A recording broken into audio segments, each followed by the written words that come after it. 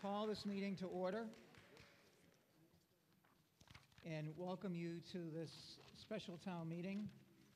The uh, chair has uh, been informed that the meeting is duly posted. The warrant, I should say, has been duly posted, so we will dispense with the formal reading of the warrant, and the chair will recognize the chairman of the Board of Selectmen, Matt Furlong, to lead us in the Pledge of Allegiance, and I ask you to stand.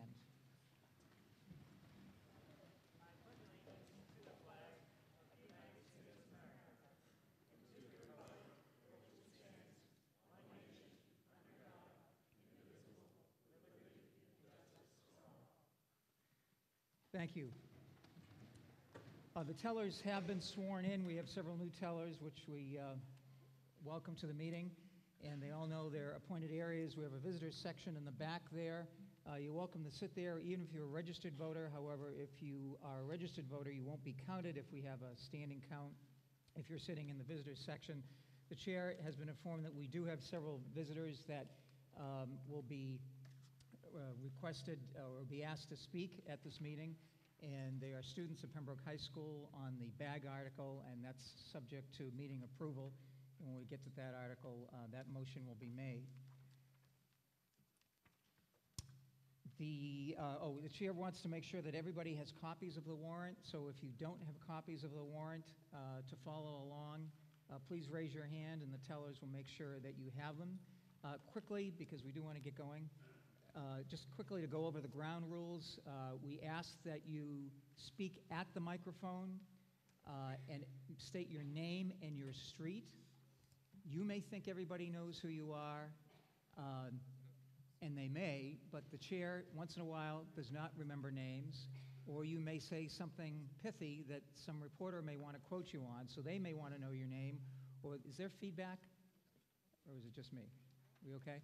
Uh, Or the clerk may need your name if you're going to make a procedural motion. So even if you're a regular, I just ask that you state your name and your street for identification purposes. Uh, I will recognize people, or try to recognize people in the order in which they've appeared. We'll go from one side to another. I'll give preference uh, to those who have not previously spoken. If you are having trouble reaching the microphone for any reason, just raise your hand and we'll get, I think the mics are all wireless, so we'll get a microphone to you. But otherwise, I just ask that you stand at the microphone if you wish to uh, speak. The only exception to that is if you wish to make a point of order, and a chair is very liberal in accepting points of order. It can be, Mr. Moderator, I can't hear, I don't understand what's going on. We don't want anyone not to know what's going on. Uh, You may have some other further point of order. Um, You can just jump up from your chair and yell out as loud as you can, Mr. Moderator, point of order, and I'll recognize you from your chair. Otherwise, I won't. If you wish to move a question, which is, would end debate, that's most times in order. Not, can't be the first one up and move to move the question, but if a significant time has period has lapsed and you make the motion to move the question, which ends debate, I will not accept it from the chair. You have to go to the microphone and be recognized in due order. Um, and I think that's about it. Um, just want to remind you that uh, Carol Dodge is selling treats, caffeine, and sugar for the benefit of the Key Club as she has for many years. And also, a small group of Pembroke residents love putting on fun family community events. Their next event is the Pembroke Tree Lighting set for Sunday, December 2nd from 3 to 6, roasting marshmallows over fire pits, cookie decorating, live nativity, and more. Santa comes flying in at 5 o'clock to light the lights, and then Pembroke High School Choir will be singing under the newly lit trees. The group is also accepting donations for next year's Pembroke Celebrates with Fireworks. You can drop off donations at Real Estate Rocks on Route 36, payable to Pembroke Celebrates, or go on to Facebook Pembroke Celebrates page. And before we get into the business, the chair would just like to take one moment to recognize Town Clerk Peg Struzik, uh, who will inform us that we can vote anytime this week and on weekends, on this coming weekend. No. Let me just.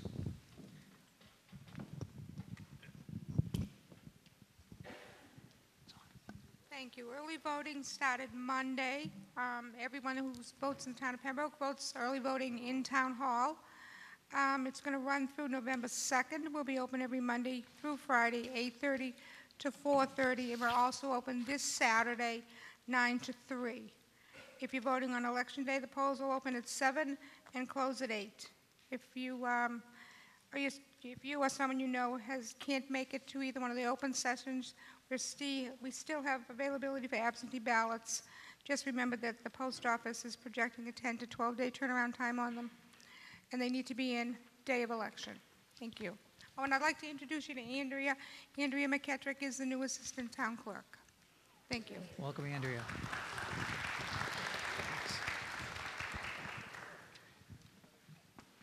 One further procedural item, uh, you will notice that there are several, actually more than several, motions that will require a two-thirds by statute, by state law. Most likely, those are borrowing. So in order to save time, in order to avoid having to do a standing vote to count the two-thirds every time it's necessary, uh, we routinely ask, actually every meeting, we ask, the chair asks for your permission to give the moderator authority to declare a two-thirds, and uh, if it's at all close, like in any uh, hand vote, uh, we'll go to a standing vote. So Arthur Boyle moves that if a two-thirds vote is required by statute, the moderator is authorized to declare a two-thirds vote if, after a show of hands, the moderator determines that the two-thirds majority has been reached. Provided, however, that if a vote so declared is immediately questioned by seven or more voters, the moderator shall verify the two-thirds majority by ordering a standing count of the yeas and nays. Is there a second? Chair here's second. All those in favor, please say aye. Opposed, no. The ayes have it, and we are ready to begin.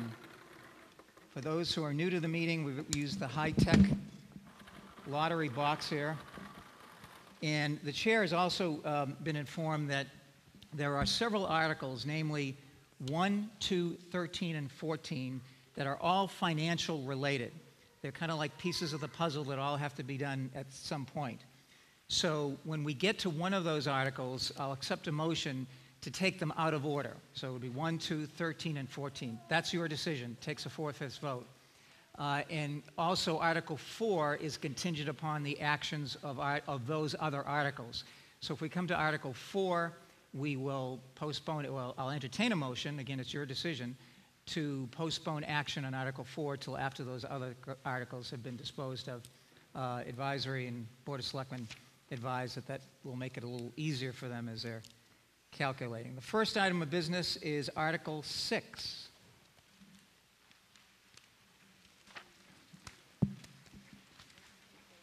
Article 6 is on, 6 is on page 3 of your warrant, and the chair recognizes Stephen Walsh from Advisory. Thank you, Mr. Moderator. Move that the town vote to create a Water Department Stabilization Fund pursuant to Mass General Laws, Chapter 40, subsection 5B, to be used for the purpose of major capital purchases in the Water Department. Is there any discussion on this item? Seeing none, this item requires a two-thirds vote, so we'll do it by a show of hands. All those in favor of the motion by Stephen Walsh, please raise your hand. All those opposed? The ayes have it, and I declare it unanimous.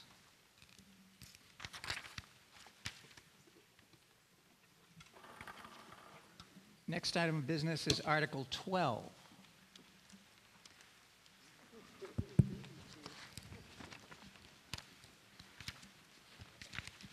Article 12 on page 5, the chair recognizes once again Stephen Walsh from Advisory Committee. Thank you. Move that the town vote to accept the provisions of Chapter 59, Sections 21A of Mass General Laws, which authorizes compensation of up to $1,000 annually for the chief assessor who has completed the necessary courses of study and has been awarded a certificate by the International Association of Assessing Offices and/or the Association of Massachusetts Assessors. Is there any discussion on this item? Seeing none, all those in favor of the motion by Stephen Walsh, just requires a majority, please raise your hand. All those opposed? The ayes have it, and I declare it so voted. Article 5.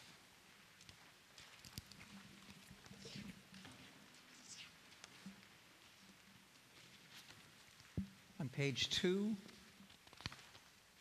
the chair recognizes Stephen Curley, Vice Chair of the... Chair, Oh, you're chair now. Congratulations. Chairman, once again, of the Advisory Committee. Okay.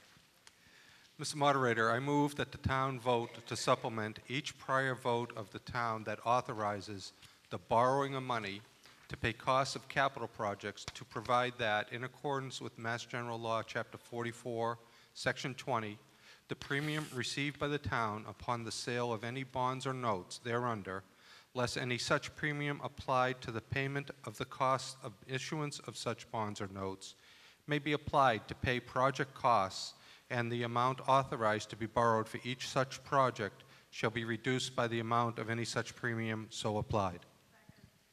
Mo- Motion's been made and seconded. Is there any discussion? Seeing none, this appears to be fairly routine. All those in favor of the motion by Stephen Curley, please raise your hand. All those opposed? The ayes have it, and I declare it so voted. Article 16.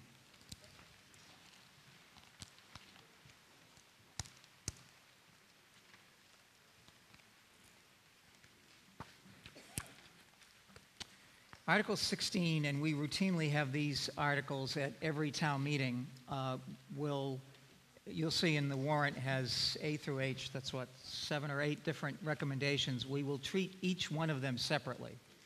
Um, And Lisa Cullity is the chair of the Community Preservation Correct, Committee. Moderator. And the chair recognizes Lisa Cullity for recommendation A on Article 16.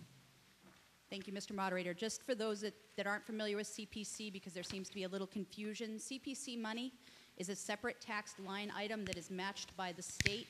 It does not come out of your general fund. The money spent by CPC or not spent by CPC does not affect the rest of the budget. So just to dispel that notion. The other thing that seems to be a little bit confusing is when CPC brings forth an article to town meeting floor that that's somehow a recommendation of CPC to fund the article. CPC is charged with making sure the article is appropriate and can be funded legally out of CPC, and the funds are there to do so. It is up to you, the taxpayers, to decide whether or not you want your tax CPC funding spent on these articles. So if you're, with your permission, Mr. Moderator, I'll move on. Chair recognizes Lisa Cullity. Um, Recommendation A, move that the sum of $10,000 be appropriated from the Community Preservation FY19 Open Space Funds, that said funds be used by Pembroke Department of Public Works for the preservation of open space by installing a guardrail at the Herring Run Park. Motion's been made and seconded. Is there any discussion? Seeing none, all those in favor of the motion, please raise your hand. All those opposed, please raise your hand. The ayes have it, and I declare it so voted. Recommendation B, the chair recognizes Lisa Cullity. Yes, at this time, we're going to move to take no action on Recommendation B. We do expect to see this article return with more information, and probably a request for more funding. Is there a second? Chair has second. The chair would just advise that the motion to take no action is uh, always in order. We try to reserve it for articles where everyone is in agreement that for one reason or another, uh, this article should not move forward. Uh, On the motion by Lisa Cully, take no action on recommendation B. All those in favor, please raise your hand. Opposed, please raise your hand. The ayes have it, and I declare it so voted. Recommendation C, the chair recognizes Lisa Cullity. Move that the sum of $12,000 be appropriated from the Community Preservation FY19 Open Spaced Funds. That said funds be used by the town administrator for funding a study and engineering costs for making the facilities at Town Landing, Wampatuck Street compliant with the Americans with Disabilities Act. Motion's been made and seconded. Is there any discussion? Seeing none, all those in favor, please raise your hand. Opposed, please raise your hand. The ayes have it, and I declare it so voted. Recommendation D, the chair recognizes Lisa Cullity. Move that the sum of $10,000 be appropriated from the Community Preservation FY19 annual revenues, and that said funds be used by the Cobb Library trustees for the purpose of rehabilitating and restoring historic resource by installation of new light fixtures, carpentry, painting, and outdoor hanging sign. Motion's been made and seconded. Is there any discussion? Seeing none, all those in favor of the motion, please raise your hand.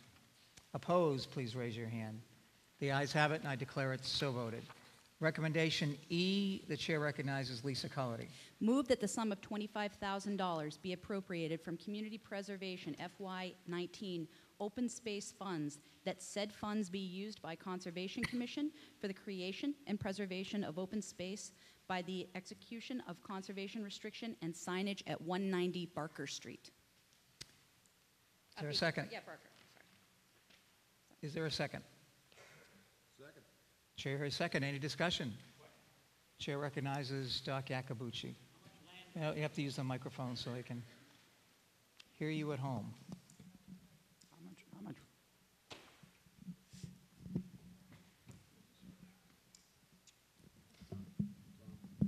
How much land are we purchasing here? Chair We've already purchased it, Doc. Chair recognizes Lisa How much is it? This, this is strictly for signage. The land is already the property of the town of Pembroke. Any further discussion? Seeing none, all those in favor of the, re- of the motion, please raise your hand. All those opposed, please raise your hand. The ayes have it, and I declare it so voted. Recommendation F, the chair recognizes Lisa Cullity. That the sum, move that the sum of $7,500 be appropriated from the Community Preservation FY19 Historic Funds, and that said funds be used by Pembroke Historical Society for the restoration of a historic resource, the Pembroke Historical Society's buildings ceiling. Motion's been made and seconded. Is there any discussion? Seeing none, all those in favor of the motion, please raise your hand. All those opposed, please raise your hand. The ayes have it, and I declare it so voted. Recommendation G, the chair recognizes Lisa Cullity.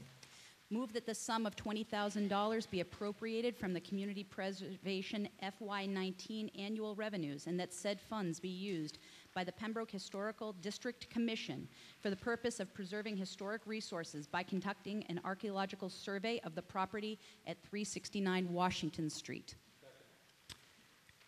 Motion's been made and seconded. Any discussion? Yes. Just state your name. Uh, My name is Steve Herman. I'm a member of the Historic District Commission. Chair recognizes Steve Herman. Um, Just a quick, quick, uh, try to make this quick. The Turner House is at 369 Washington Street. It's at the intersection of 14 and 53. Um, This is a a historic building um, by virtue of the fact that it was the home of John Turner, who was the, um, the head of selectmen uh, in um, 1772. And that um, 1772, the town of Pembroke uh, wrote the Pembroke Resolves, which is the first written protest against British rule in the colonies.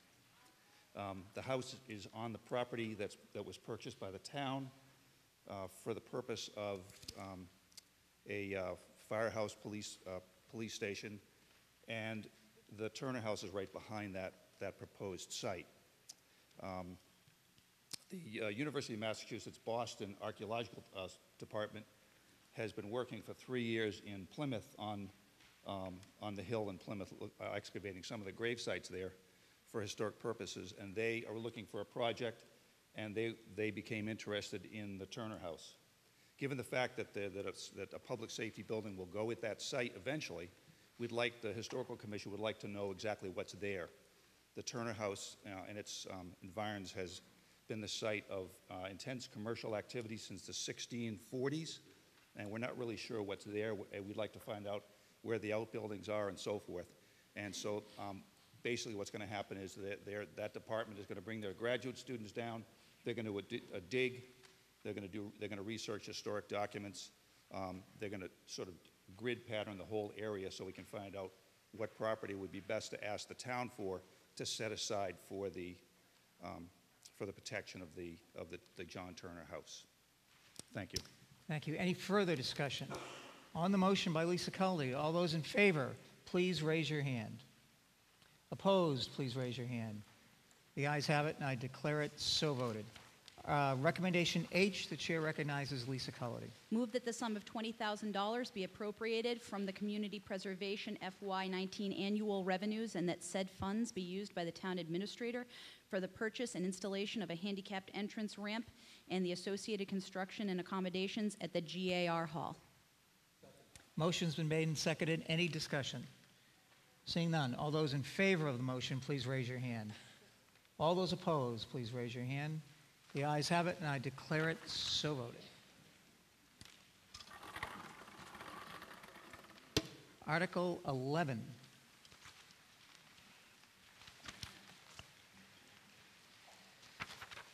On page five of the warrant, and the chair recognizes the chairman of advisory, Steve Curley. Mr. Moderator, I move that the town appropriate, uh, sorry, I, I move take no action on Article 11. Is there a second? Second. Chair has second. Any discussion? Again, your call on whether we take no action or not. All those in favor of the motion, please raise your hand. All those opposed, please raise your hand. The ayes have it, and I declare it so voted. Article 19.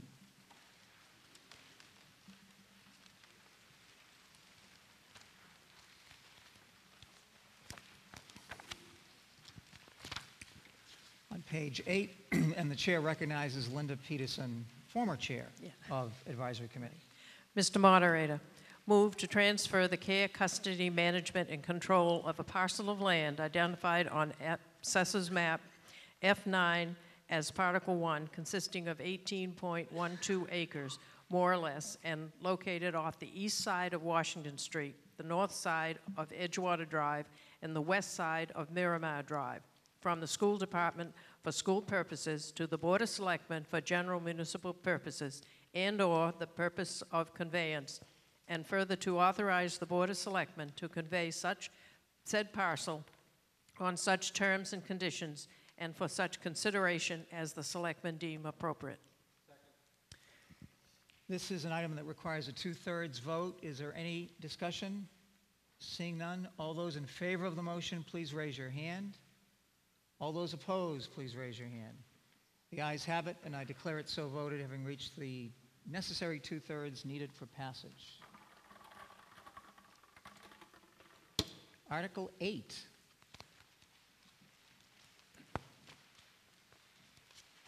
On page three, and the chair recognizes Maria Karas from Advisory. Mr. Chairman, I move to take no action on Article 8. Motion's been made. Obviously, the decision, or the recommendation is not to move forward on this. Is there any discussion? All those in favor of the motion, please say aye. Aye. Opposed, no. Caught you off guard. The ayes have it.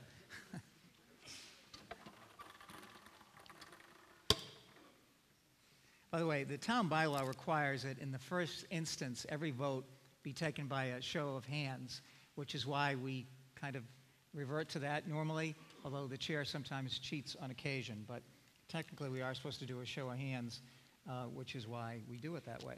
Uh, Article 15 is the next item of business.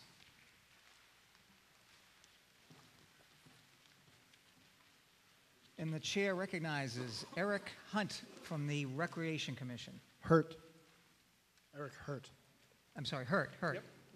Can't read my writing. I move that two, uh, 20892 be appropriated from free cash and transferred to community center custodial wages and salaries. Is there a second? Chair, motion's been made and seconded. Is there any discussion? Mr. Moderator? Chair recognizes Steve Curley. Uh, Mr. Moderator, um, this is a uh, financial one. I, I think that we would have preferred that this one came up after the other ones. Uh, As, as is, we don't have the money for this based on what we're recommending, but that could even get worse uh, if we vote some of the other things. Uh, We, we do not have this money. um, And, you know, right now, the free cash is dwindling very rapidly.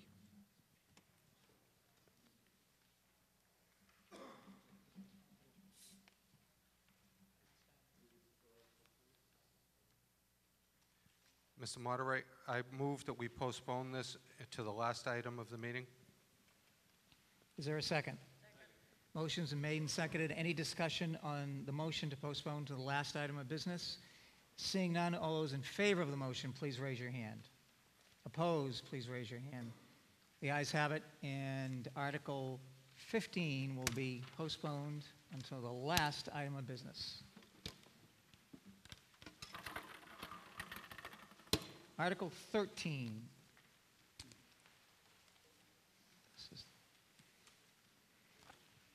So the motion has, um, again, as the chair stated at the beginning, that uh, advisory and the Board of Selectmen uh, wish to take these items together and do it in the order of Article 1, 2, 13, and 14. So Mr. Tobin moves that Article 13 be taken up, that Article 1 be taken up out of order, followed by Article 2, Article 13, and Article 14. That requires a four-fifths vote. Um, So all those in favor of the, mo- is, is it's been, uh, motions been made, has it been seconded? Second. Chair has a second. Uh, All those in favor of the motion to take Article 1, 2, 13, 14 together, and we'll take Article 1 up right away, uh, please raise your hand. No. Uh, I'm sorry. All those in favor, please raise your hand. All those opposed, please raise your hand.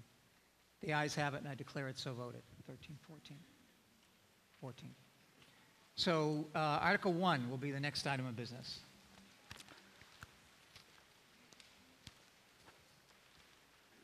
Chair recognizes the newest member of the Advisory Committee, former longtime Chairman of the Recreation Commission. Happy to see him on the Advisory Committee, Matthew Norton, uh, for purposes of making a motion on Article 1. Move that the town appropriate and transfer from free cash the sum of $451,454 for the purpose of balancing the budget and reducing the tax rate for the fiscal year, fiscal year 2019. Any discussion on this item? Seeing none, all those in favor of the motion, please raise your hand. All those opposed? The ayes have it, and I declare it so voted. Next item of business will be Article 2.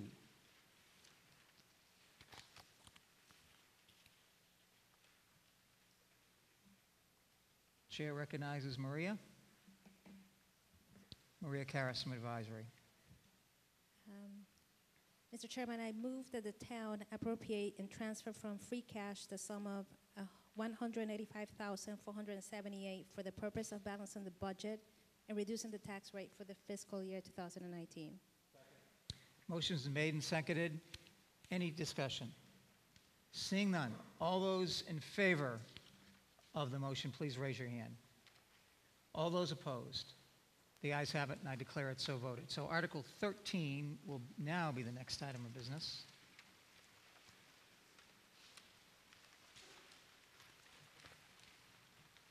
And the chair recognizes Matt Furlong from Advisory, uh, from the Board of Selectmen, sorry. I don't think it's on. Uh, All right. We move that $160,192 be appropriated from free cash and transferred to police department wages and salaries overtime. Motion's been made and seconded. The chair recognizes Chief Rick Wall. Good evening. I'm sorry if I have my back to some of yous. Um, This is a process that we've been trying to fix for a long time. It has to do with manpower on the road. Um, Town of Pembroke does fairly well as, as a result of the police officers. Our crime rate is down. Uh, I think they've been very, our officers are very supportive of the town, and I'm hoping that the town will be supportive of the officers. This overtime request is, is I've gone to, to town meeting, I've gone to budget hearings, uh, trying to raise the level of police officers to a minimum of four officers on the road for a 24 square mile town with 20,000 people. Four police officers on the road. I have yet to get there. Tomorrow, I celebrate my sixth anniversary as chief, and when I took over, we had 24 police officers. We, we were down to bare bones. We were running three, three officers on the road. We were forcing overtime because we weren't able to fill we, in, in, with trying to stay within budgets. We've been building that back up over the last six years, but we're not there yet. We still run shifts with three officers on the road. After the tragedy in Weymouth, and then followed up by a shooting in Falmouth, I couldn't let the officers be out there with three cars on the road. I mean, we were on a north car and a south car, and a sergeant in the middle. And the odds that he's needed in the other area is 50%. And they do a lot of work out there, they answer a lot of calls. And now we're dealing with the population of people that want to challenge police officers. There was a shooting yesterday in South Carolina. Uh, we can't do this anymore. It's time. This is a crisis for this town. We need to step up and we need to fund this. So, this overtime request, back in August, I raised my minimum level to four. So, I'm spending money that we don't have, or we do have, but uh, I had to do that. That's my job. I have to take care of these officers. You have the best group of men and women ever assembled in this police department. So, excuse me, we need to fund this. And the second part of this is we need to fund the two police officers to go to the academy in February so that this overtime doesn't have to continue year after year. We need to have the actual manpower. This is what I asked for last year, and you supported the, uh, the, the manpower request at town meeting. So I have authorization to hire people, we just didn't have a funding source. So this isn't something new, and I realize this is a, you know, it should be a capital meeting, it's in the fall, but, you know, I, I can't pick the time of crisis, and I've tried every legitimate avenue to get these people hired. The need is now, so I'm asking you to support this. Thank you.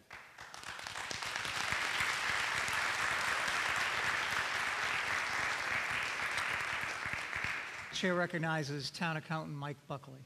Thank you, Mr. Moderator. I am um, very much against this.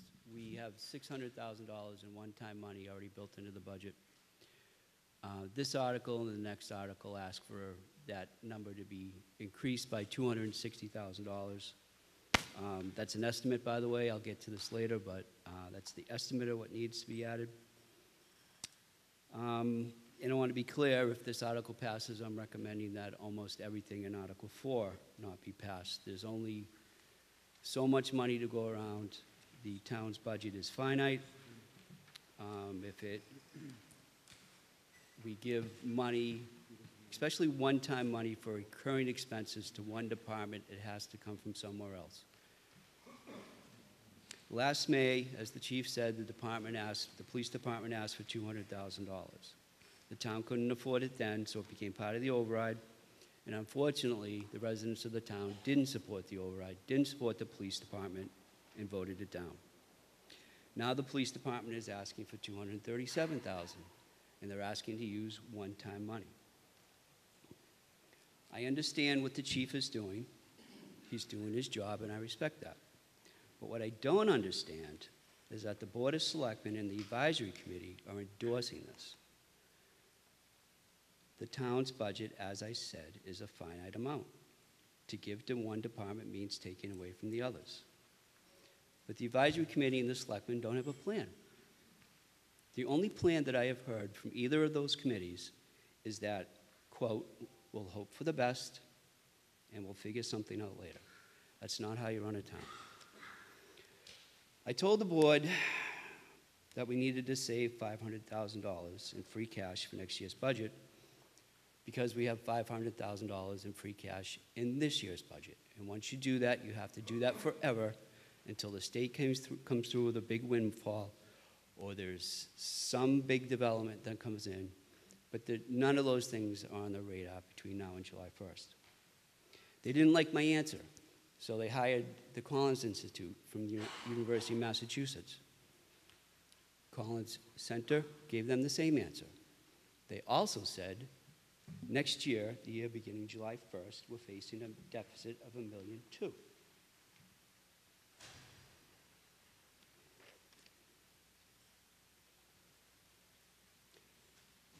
So naturally, I'm against this as printed in the warrant.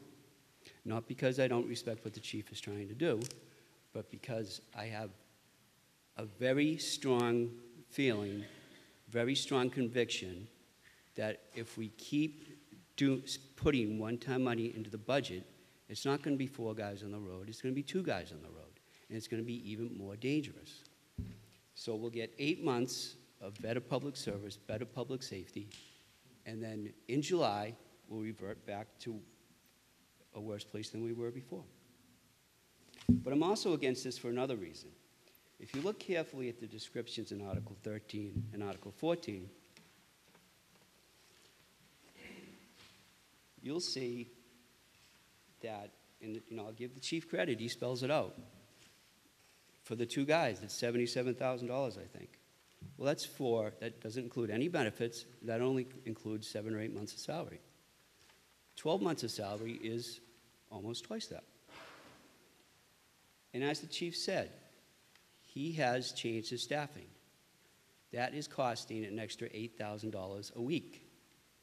Anybody can take $8,000 multiply that times 52, and find out the real number isn't $177,000, it's $400,000. So that's what's being asked of you tonight, really $480,000. So for those reasons, I'm against this. No one has a plan other than just using one-time money that won't be there in July, and uh, I can't support it. Thank you. Chair recognizes Steve Curley from Advisory.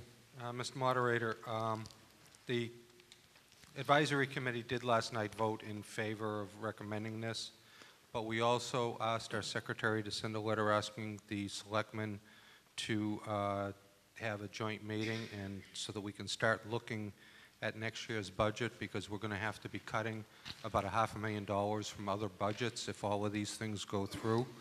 Uh, We have to try and get this under control. Uh, The professor that was referenced uh, from the Collins Institute, in terms of the habit of using uh, free cash to pay salaries, referenced another town that for, I believe for the past 10 years has been under state receivership. And um, if we continue to just spend uh, free cash on salaries, uh, at some point the credit card's going to come due, and we're probably going to be in receivership. And I think that uh, we're looking for the Board of Selectmen to show some uh, leadership on this, and we're trying to show some leadership and trying to get together and start trying to proactively cut some of these department budgets because we, we need a half a million dollars uh, next year, and it's, and it's going quickly this meeting. Chair recognizes Chief Wall. I'm going to disagree with uh, Mike Buckley, the accountant, on the numbers. Um, That does include the health insurance, that's two employees for January to uh, July. And then at the end of that, the overtime is going to be drastically reduced because I'm going to have officers filling those spots and I don't have to fill them with overtime. So, you know, I I factored in the numbers and everything else, did the best I could with it. I think they're accurate. And, and again, I don't think that we need to make, you know, if we have a problem with, with the finances and everything else, don't let the town's police department balance that out. We have a job to do. I can't cut down the number of calls. I can't close two days a week because you're only going to, you know, fund five-sevenths of a budget. I don't have that option. What I do have is I have a duty to protect the officers that are out there and to the public. That's what I need to do. Now, we've bounced this around. This, this plan isn't something new. This is something I've been talking about since, since six years ago, since my first budget, because this is what it needs to be. And we're getting back to where we were in 1988 when, when uh, Ted Kane and Dave Hurley came on as officers 31 and 32. So it, it's not like we're, we're trying to, you know, increase. We're trying to get back to where we were, at least have a, you know, a safe opportunity to do our jobs. That's all we're looking for. Chair recognizes, if you could state your name. Stephanie Skolnick, Captain Stephanie. Tory Lane. Um, Stephanie. I have a question for the chief. If we vote favorably for Article 14 to fund the two new officers, is Article 13 needed anymore for the overtime? Chair recognizes Chief Wall.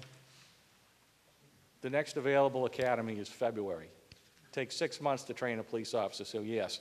If we had had this funded last year, I wouldn't be looking for the overtime. We would have had the officers. So, you know, when you, when you push this down the road, it's going to end up costing you more money. And, and that's what's happened here. So, no, that overtime I'm going to need to carry through until the end of the year, until the officers graduate from the academy, and I can put them on the road to fill those spots. Any further discussion? Chair recognizes Mike Buckley. Just one more item quickly. I stand by my numbers. In the 14 weeks of the fiscal year since July 1st, the department has spent $120,000 more um, than it should have if it sticking to a 152nd budget. So I stand by my numbers. Chair recognizes former school committee member Carol Dodge. I heard Mrs. Skolnick say Captain Torrey Lane, and it came into my memory that that street is behind my house. And in 1991, Mike Siegfried, God rest his soul, our former conservation agent, stood on town meeting floor and said, "We conservation have decided that there's two parcels of land in Pembroke that are no longer wetlands, but land that is wet." And Captain Torrey and Grist Mill were built. And we, the school committee, did the budget in April And I had a whole class of kindergarteners in September because of the growth near my home. Not only Gristmill and Captain Torrey, but since then, we have Anthony Way, we have Summers Path, we have Millberry Lane, but we haven't hired an officer. I'm only speaking about my street, West Elm Street, never mind the other 25 square miles of town. We cannot, the police department cannot do the job. It is not safe. I'm not a budget person. I respectfully ask you to fund this. Thank you. Chair recognizes School Committee, School Committee Member Patrick Chilcott.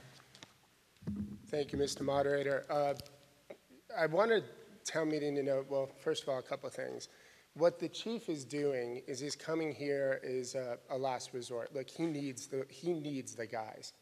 There's no question, at least in my mind as a resident, he needs the guys.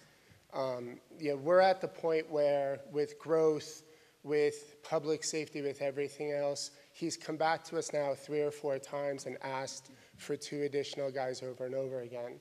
The issue and the, where, where we're struggling, and the school committee did send a memo to the Board of Selectmen, the town accountant, and the town administrator, isn't about the need, it's about the funding source. The concern in using free cash to fund the position is that we're exacerbating what is likely going to be a $2 million deficit next year. Now, that's a problem, but the chief shouldn't have to deal with the problem unilaterally and individually. So I guess what I'm asking, what I'd ask the selectmen is, from a priority perspective, because this comes down to a financial and economic priority, is there a way that we, because I think most of us would like to vote in favor of these two new positions, is there a way that we can go back and craft a budget to figure out in this budget cycle from a fiscal priority uh, you know, lens to be able to, to come up with the money to fund this within the, the confines of the budget and not use free cash? Because one-time money is just going to mean instead of $2 million, it's $2.2 million next year. Chair recognizes Steve Curley. Uh, Mr. Moderator, uh, through you to the prior speaker, one, one of the difficulties we have is uh, in the current year's budget as it was voted in the spring, 12.29% went to public safety, 53.9% went to the uh, schools, and 22.06% went to benefits and insurance. And um, so between those is 88% of the budget. Um, you know, the, the general government is 3%, um, the, the public works is only 2.5%, uh, you know, health and sanitation is less than a percent, you know, and most of these things are, um, they're required positions. You, you have to have a town clerk, you have to have a town collector, you have to have a town accountant. Um, you know, there's, there's things you just can't get rid of these departments, and short of getting rid of other departments, you've got 88% right there. There's like nothing left outside of there to cut. Chair recognizes Mike, Michael Damon. Michael Damon, Point Drive. sorry. Um, In pre- preparation for the meeting today, and I support the chief, first of all, and, and this isn't against any other department, and definitely not against the schools. I had uh, three boys go through the school system. I love the school system. But in the last five years, um, attendance in the schools have dropped 13%, 435 students. Right now, again, this was the um, uh, 17, 18 uh, numbers. We had 268 seniors and with 168 first graders. So we're seeing these numbers go down. Mr. Curley made a very good comment. We have to look at budgeting. And I think one of the parts is, in, in that time, we have had a decline of seven teachers for 400 students. That have, and I know there's administration. I know it's a difficult task. It's difficult across the town. And I think we have to look at every department. But police and public safety has been suffering for a number of years. And it shouldn't get worse. And I support the article. So can I, Chair recognizes Patrick Chilcott. so I, I just want to respond to two things. First of all, um, yes, enrollment um, is down, so I think it's very perceptive, a very fair point. Um, it'd be ideal if the, the numbers went down perfectly so that you could eliminate exactly that number divided by 22 or 23 teachers. You can't. Um, And, and candidly, I'd be more than happy to put our budgeting process up to anybody's lens any day of the week. We spend four months doing it. But I guess my question, going back to sort of the funding source, and with uh, all due respect to the percentages that were given, we within the school department last year had a $450,000 surprise in transportation, and specifically in vocational transportation, and in the increment in the number of our kids going to vocational schools, for which, by the way, we received absolutely zero incremental funding to cover. It's one of those typical unfunded mandates. We had to find $400,000 in 53% of the budget as it was just put. So I'm just asking us to go back and look at it again because I do think the chief needs the guys. I just think free cash is the wrong place to, to be going to the till to pay for it. Chair recognizes Dan Trabucco from the Board of Selectmen. Uh, Thank you, Mr. Moderator. Uh, I just want the folks at town meeting to know that the Board of Selectmen uh, support this uh, article, Article 13 and 14, uh, to give the police chief the the monies that he needs for overtime and to fund the two officers that he's going to put into training. Uh, It's unfortunate that it needs to come from free cash, as Mike Buckley, Mike Buckley's statements are very accurate, truly accurate. And the Board of Selectmen have been taking action.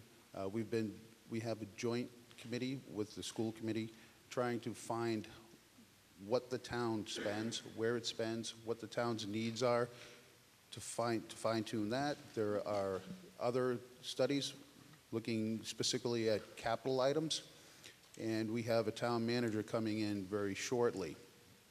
So uh, the Board of Selectmen are trying to move forward so we don't get into a pinch like we are now. It does take time to, the, the wheels of government move slowly, but we are working toward those goals.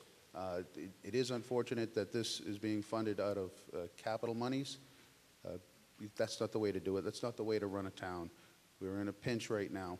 We are looking to go forward in a better way.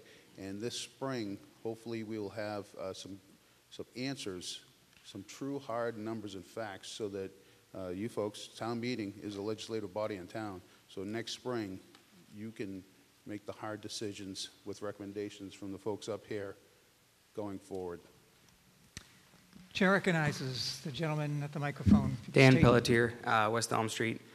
Is this being funded from free cash, stabilization, reserves? Because it says here stabilization, just want to clarify, because people are Chair- using. the Chair The motion Steve was free cash. Any f- further discussion? Chair recognizes Doc Akabuchi. I'm just not clear You on gotta- the you have to use the you have to use the microphone. Could the advisory committee please restate their recommendation on these two articles? Mr. Moder- Moderator, through you to the prior recognizes Steve speaker. Curley. Uh, Last night, the advisory committee did vote favorable action on both of these. Any further discussion? You've heard lots of good discussion on both sides. It's now up to you. It Takes a simple majority vote. All those in favor of the motion by Matt Furlong from the Board of Selectmen, please raise your hand. All those opposed, please raise your hand. The ayes have it, and I declare it so voted. Article 14 is the next item of business. And the chair recognizes Matt Furlong. Thank you, Mr. Moderator. We move that $77,663 be appropriated from free cash and transferred to police department wages and salaries. Second. Motion's been made and seconded. Is there any discussion on this matter? Seeing none, all those in favor of the motion by Matthew Furlong, please raise your hand. All those opposed? The ayes have it, and I declare it so voted.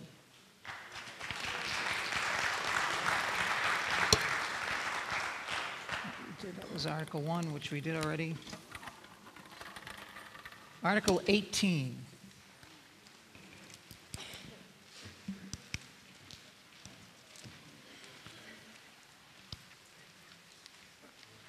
Chair recognizes, Articles 18 is on page 8 of your warrant, and the chair recognizes Elizabeth Monks from advisory. Okay. All right, I'm, Chair recognizes, I'm sorry, you state your name? Christina Manning, BB Lane. Christina Manning. Um, This article was to see if the town will vote to request Representative Josh Cutler sponsor a home rule petition to give release to four retired employees who are adversely affected by the current health insurance rules. Um, My family is actually directly Yeah, Stephanie, affected. uh, I'm sorry, y- your first name was? Christina. Christina, yeah, I think the motion is, why don't you read the motion so it's properly put before us? Oh, okay. That Steve gives you, okay. That the town will request that the state representative sponsor a home rule petition to allow Pembroke to separate by class retired employees for the purpose of revising the adverse effect of increased health insurance rates on a group of four retired employees. Motion's been made, is there a second? Chair recognizes Christina. So my family is actually directly affected. My husband um, had to medically retire for a- work injury. He worked for the Pembroke DPW for 27 years and as a call firefighter for 31 years. Um, And in 2015, when he retired, we were promised that he would pay 15% rate for health insurance. That was $4,307 um, annually. Since then, three years later, it's increased to $7,179, which is an increase of tw- over $2,800. Um, I don't think it's fair that we were promised 15% and it's increased to 25. Um, hmm? We had spoken to Mr. Thorne. Chair recognizes uh, Stacy, oh, no? Okay, I'm sorry.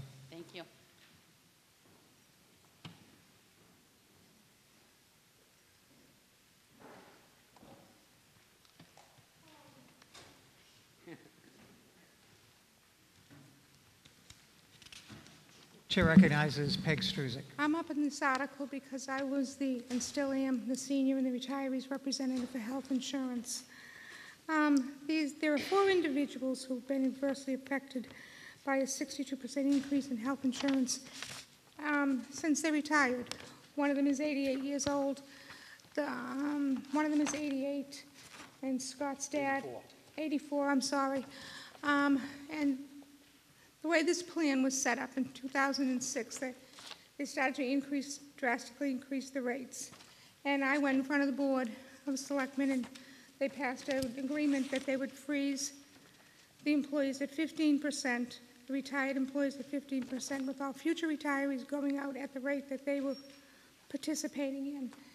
And three years ago, they, and I can understand why I used to do health insurance, I understand the needed increase, but you can't go back and retro 62% worth of health increases to people who've been retired for years. They just don't have the money. These are four men living on very low pensions, and they're paying 25% of their pension for health insurance.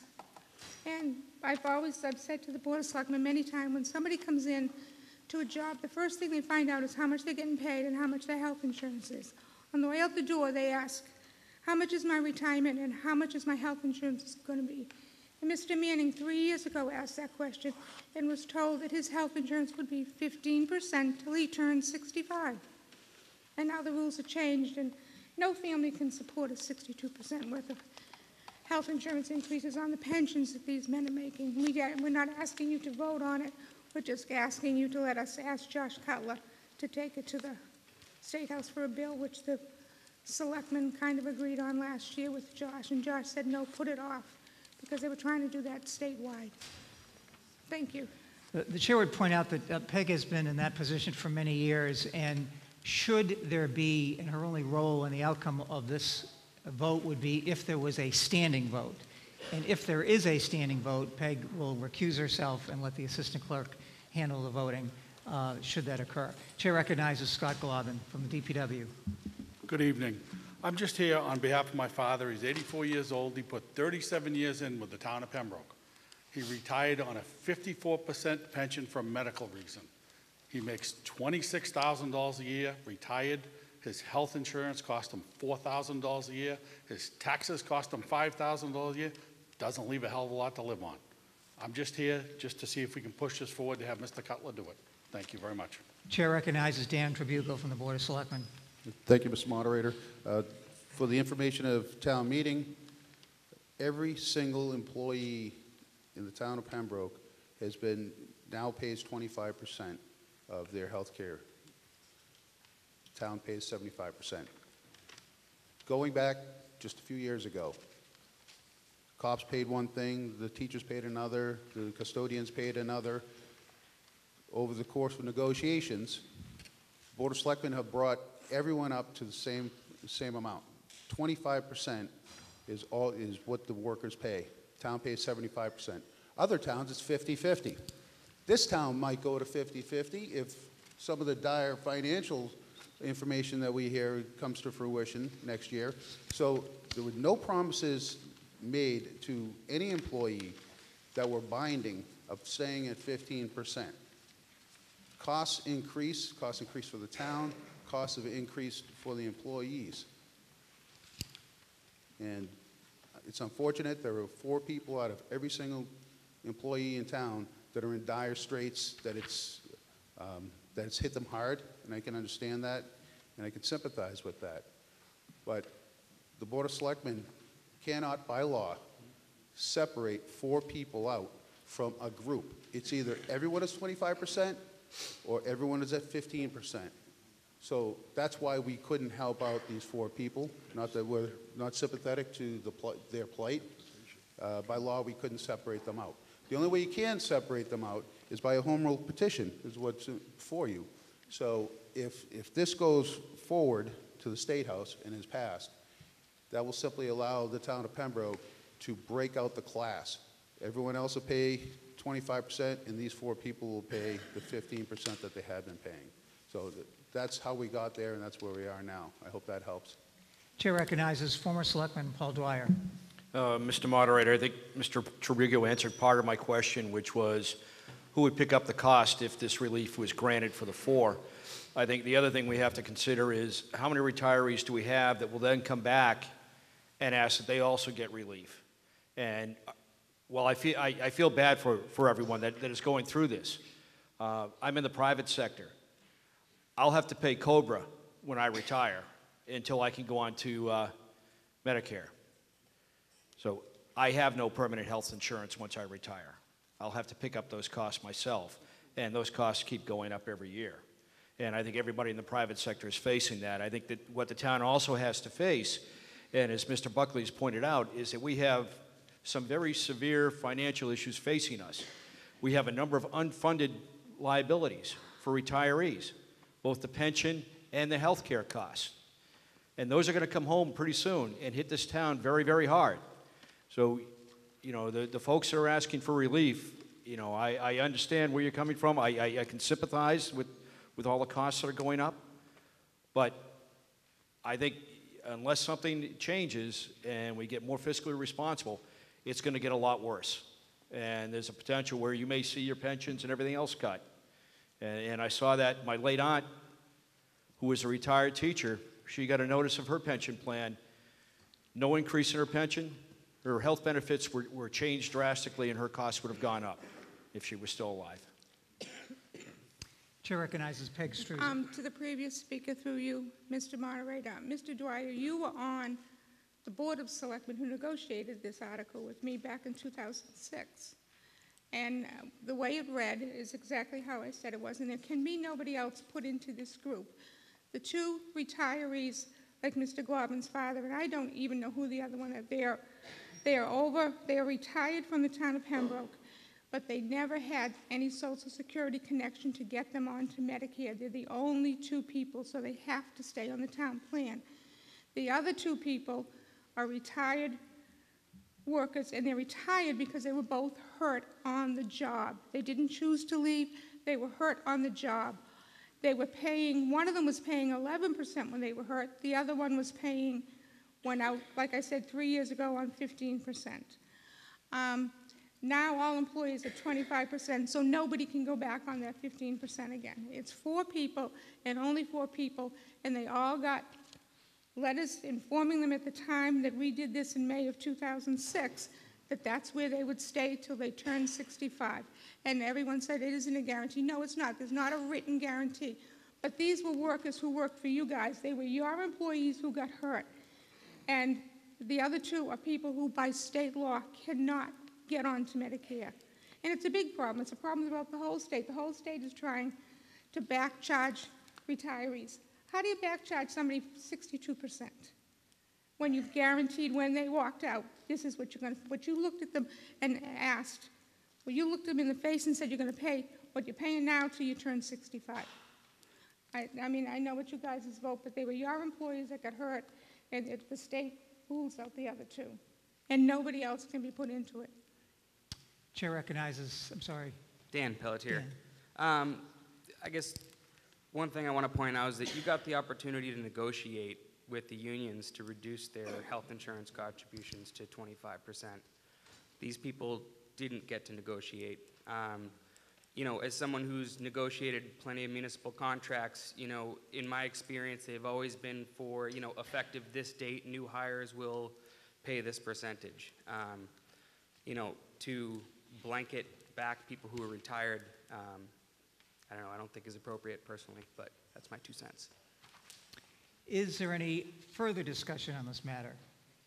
Seeing none, all those in favor of the motion by Christina Manning, please raise your hand. All those opposed, please raise your hand. The ayes have it, and I declare it so voted.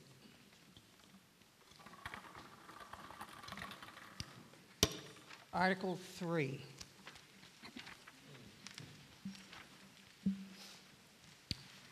Which is on the first page of the warrant, and the chair recognizes Elizabeth Monks from advisory.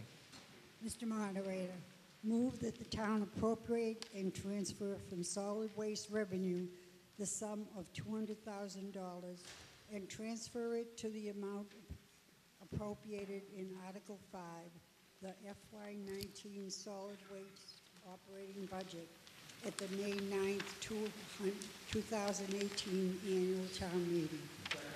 Motion's been made and seconded. Any further, any discussion on this matter? Seeing none, all those in favor of the motion by Betty, please raise your hand. All those opposed? The ayes have it, and I declare it so voted. Uh, We did Article 2. Article 10. On page 4, and the chair recognizes Linda Peterson from advisory. Mr. Moderator, move to transfer the care, custody, management, and control of the tax title parcels of land identified in Article 10 of the October 2018 special town meeting warrant from the town administrator and/or the treasurer as the custodian of tax title parcels to the Conservation Commission for the purpose of conservation and passive recreation purposes under the provisions of General Law, Chapter 40, Section 8C. Motion's been made and seconded. This does require two-thirds. Is there any discussion? Seeing none, all those in favor of the motion by Linda Peterson, please raise your hand. All those opposed? The ayes have it, and I declare it unanimous. Article 17.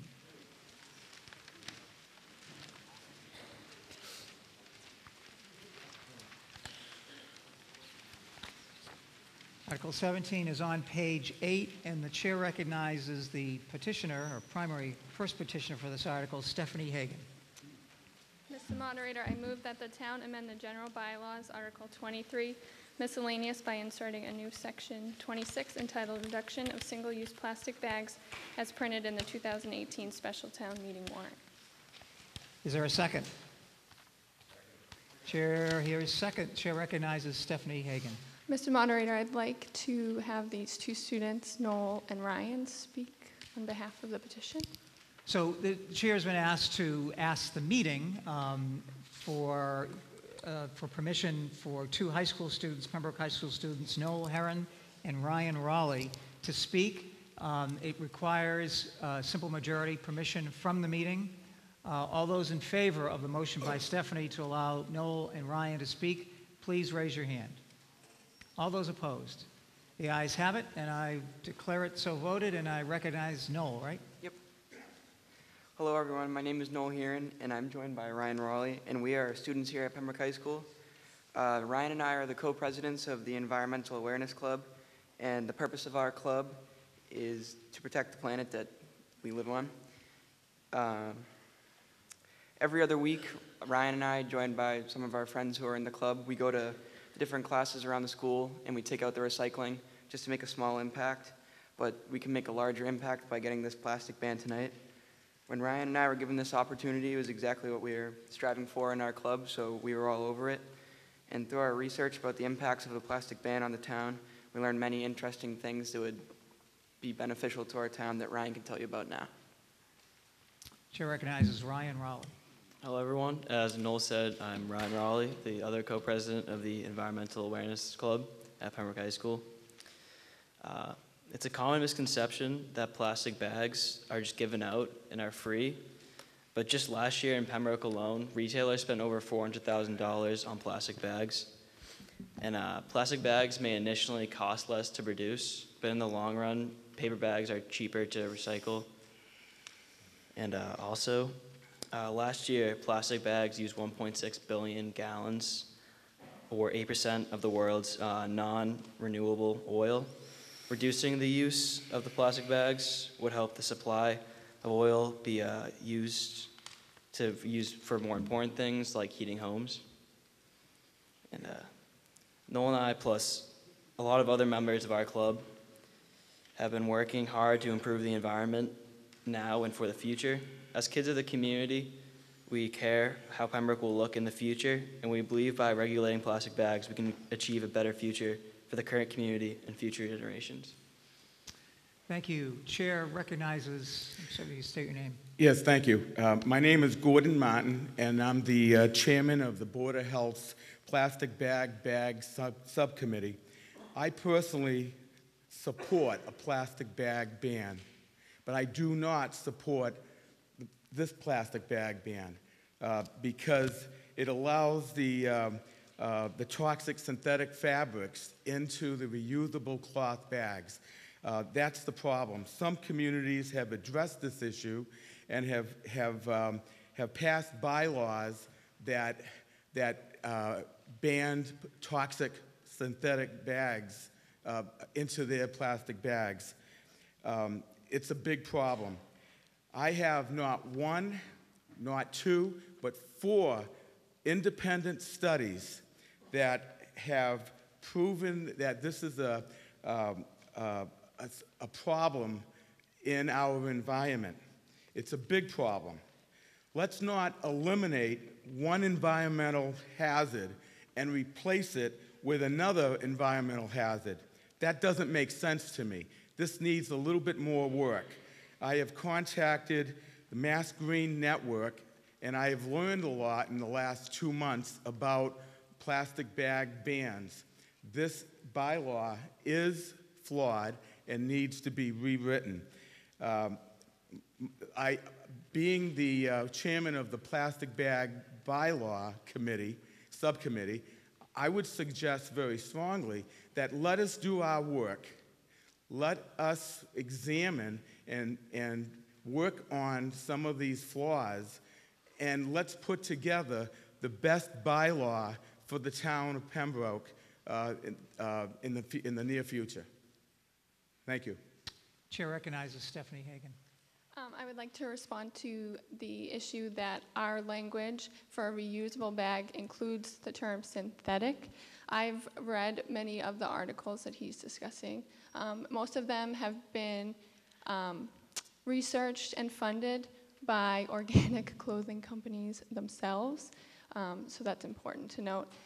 I also want to note that, yes, ideally, I would love to not have anyone use synthetic bags, but I think that could be detrimental to small businesses because we are trying to allow them to provide usable, reusable bags if they would like to that are not of significant cost. You can have a full canvas bag, a full cotton bag, a full wool bag even, that may have synthetic um, thread or other type of fiber, fibers woven into it. And I think that that would do a disservice to our small businesses to remove that language, synthetic. He was referencing one word in the law within the reusable bag section.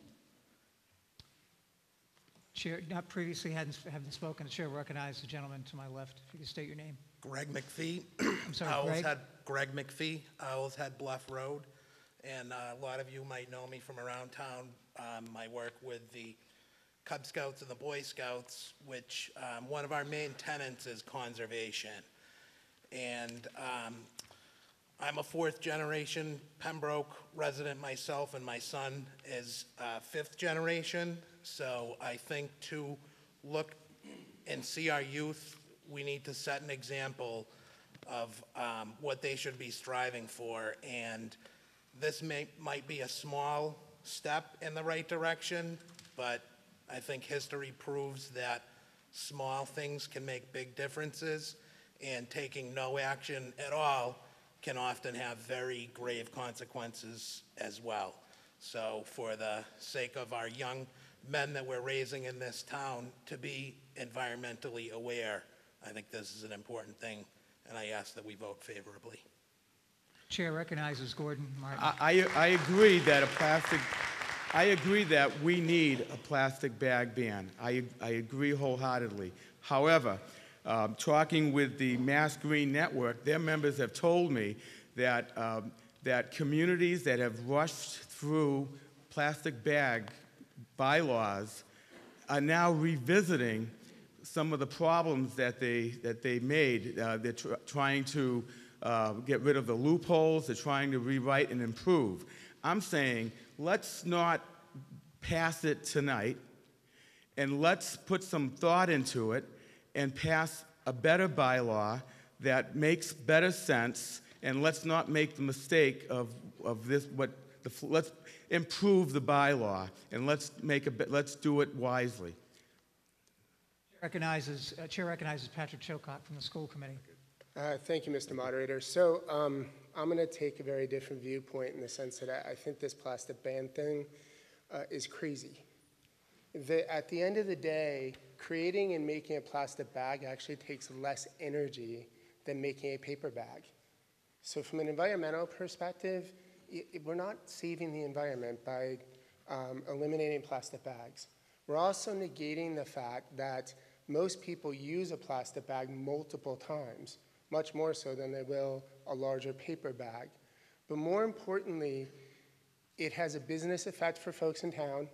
A couple residents from Hanover said, yeah, go ahead and pass that. Hanover doesn't have one. It- so businesses in Pembroke aren't going to be able to give a plastic bag, but businesses in Hanover will. Businesses in Kingston will. Businesses in Marshfield will. My next question becomes when does it stop? So, if a plastic bag is something that is now so environmentally detrimental, and by the way, the, the initial uh, statistic of 1.6 billion gallons is worldwide plastic bans, I cannot imagine that the number of plastic bags used by the town of Pembroke is using 1.6 billion gallons of oil. But where does it stop? Aluminum doesn't really biodegrade. Should we eliminate aluminum cans? Bottles, not biodegradable. We should eliminate them. If this is about trash and this is about other things, then we should step up our enforcement of trash. But we can't go around banning things because it feels good. We have to take a look at the logic behind what we're doing, think about what we're doing, and move forward with something that makes logical sense. Pembroke is not going to affect the environment that dramatically. We ha- you would have to get everyone in the Commonwealth to do it. Otherwise, the detrimental effects to business, the detrimental effects to residents, and at the end of the day, not doing anything to better the environment means this really doesn't make any sense. I ask you to vote against it. I'm just going to try to recognize people in the order in which they stood up. Chair recognizes, should, Hi, Cody Pajic, 286 Cody Pleasant Pajic. Street.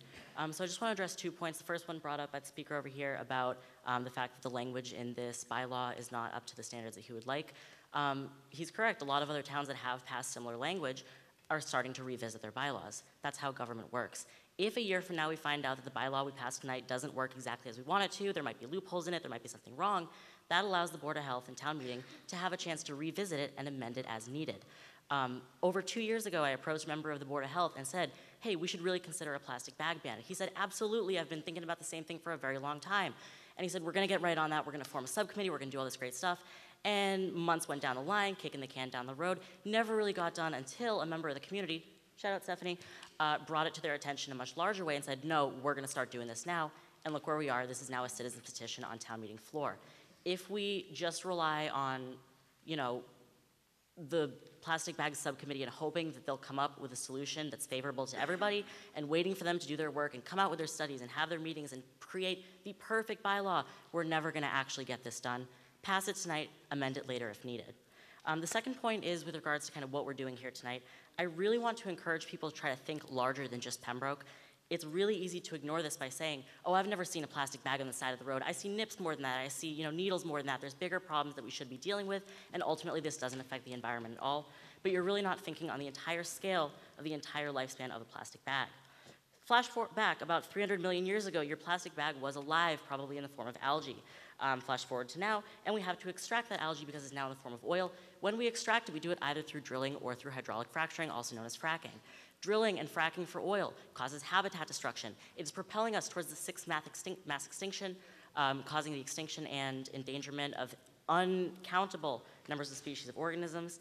Um, it is seizing lands in the Midwest through eminent domain, drilling on their land and endangering the public health of the people who live there because the oil from the pipelines there is leaking into their water supply. Now, once you have that plastic bag and it's in your hand, by the way, 12 million barrels of oil per year are used for the production of plastic bags nationwide, according to recent data from the Environmental Protection Agency. Now, flash forward, you got the plastic bag, you're bringing it from the grocery store to your car to your home, and you might reuse it a couple of times at most as a can liner or for your pets. And after that, there are three places that your plastic bag can go. The first one, you might recycle it properly. You can bring it to the store where it says drop off your plastic bags here, and that is kind of the most responsible thing to do for it. You drop them in there. There's a really big misconception that if you put 10 plastic bags into that bin, they're going to be regenerated into 10 plastic bags, and you can have that loop going forever and ever. Recycling isn't that clean, especially recycling with plastics, um, and so it doesn't actually end up as that. It ends up as insulation, fleece, and other, you know, things that can be used once before being landfilled. Second option, you're going to try to recycle it by throwing it in your single stream recycling bins. And a lot of people do this. In fact, to the point the materials that the material recoveries facility we partner with has to shut down their machinery about once every half an hour to once an hour in order to have their workers take those plastic bags out of the machines because it jams them up. That endangers the um, that endangers the safety of the workers there, and it also makes those recycling plants a lot less efficient, which means that at the end of the day, you're paying a lot more for recycling because of the increased labor in, in, removing the plastic bags, and because if they somehow make it through, they end up contaminating the plastic bales, and nobody wants to buy those. Nine months ago, China said, We're not buying your recycling anymore because it's too contaminated. Plastic bags were a big factor in that. Now, the third and final place that your recycling that your bag could go when you're done with it is straight to the landfill. And by the way, according to the EPA, that's where about 98 to 99 percent of your plastic bags end up directly. Once it's there, it disintegrates into microplastics. Those microplastics seep into the water table, and you end up drinking and eating it, and that endangers public health. So, you know, it might seem like, all right, we're not really accomplishing anything here. And in the grand scheme of things, true, right?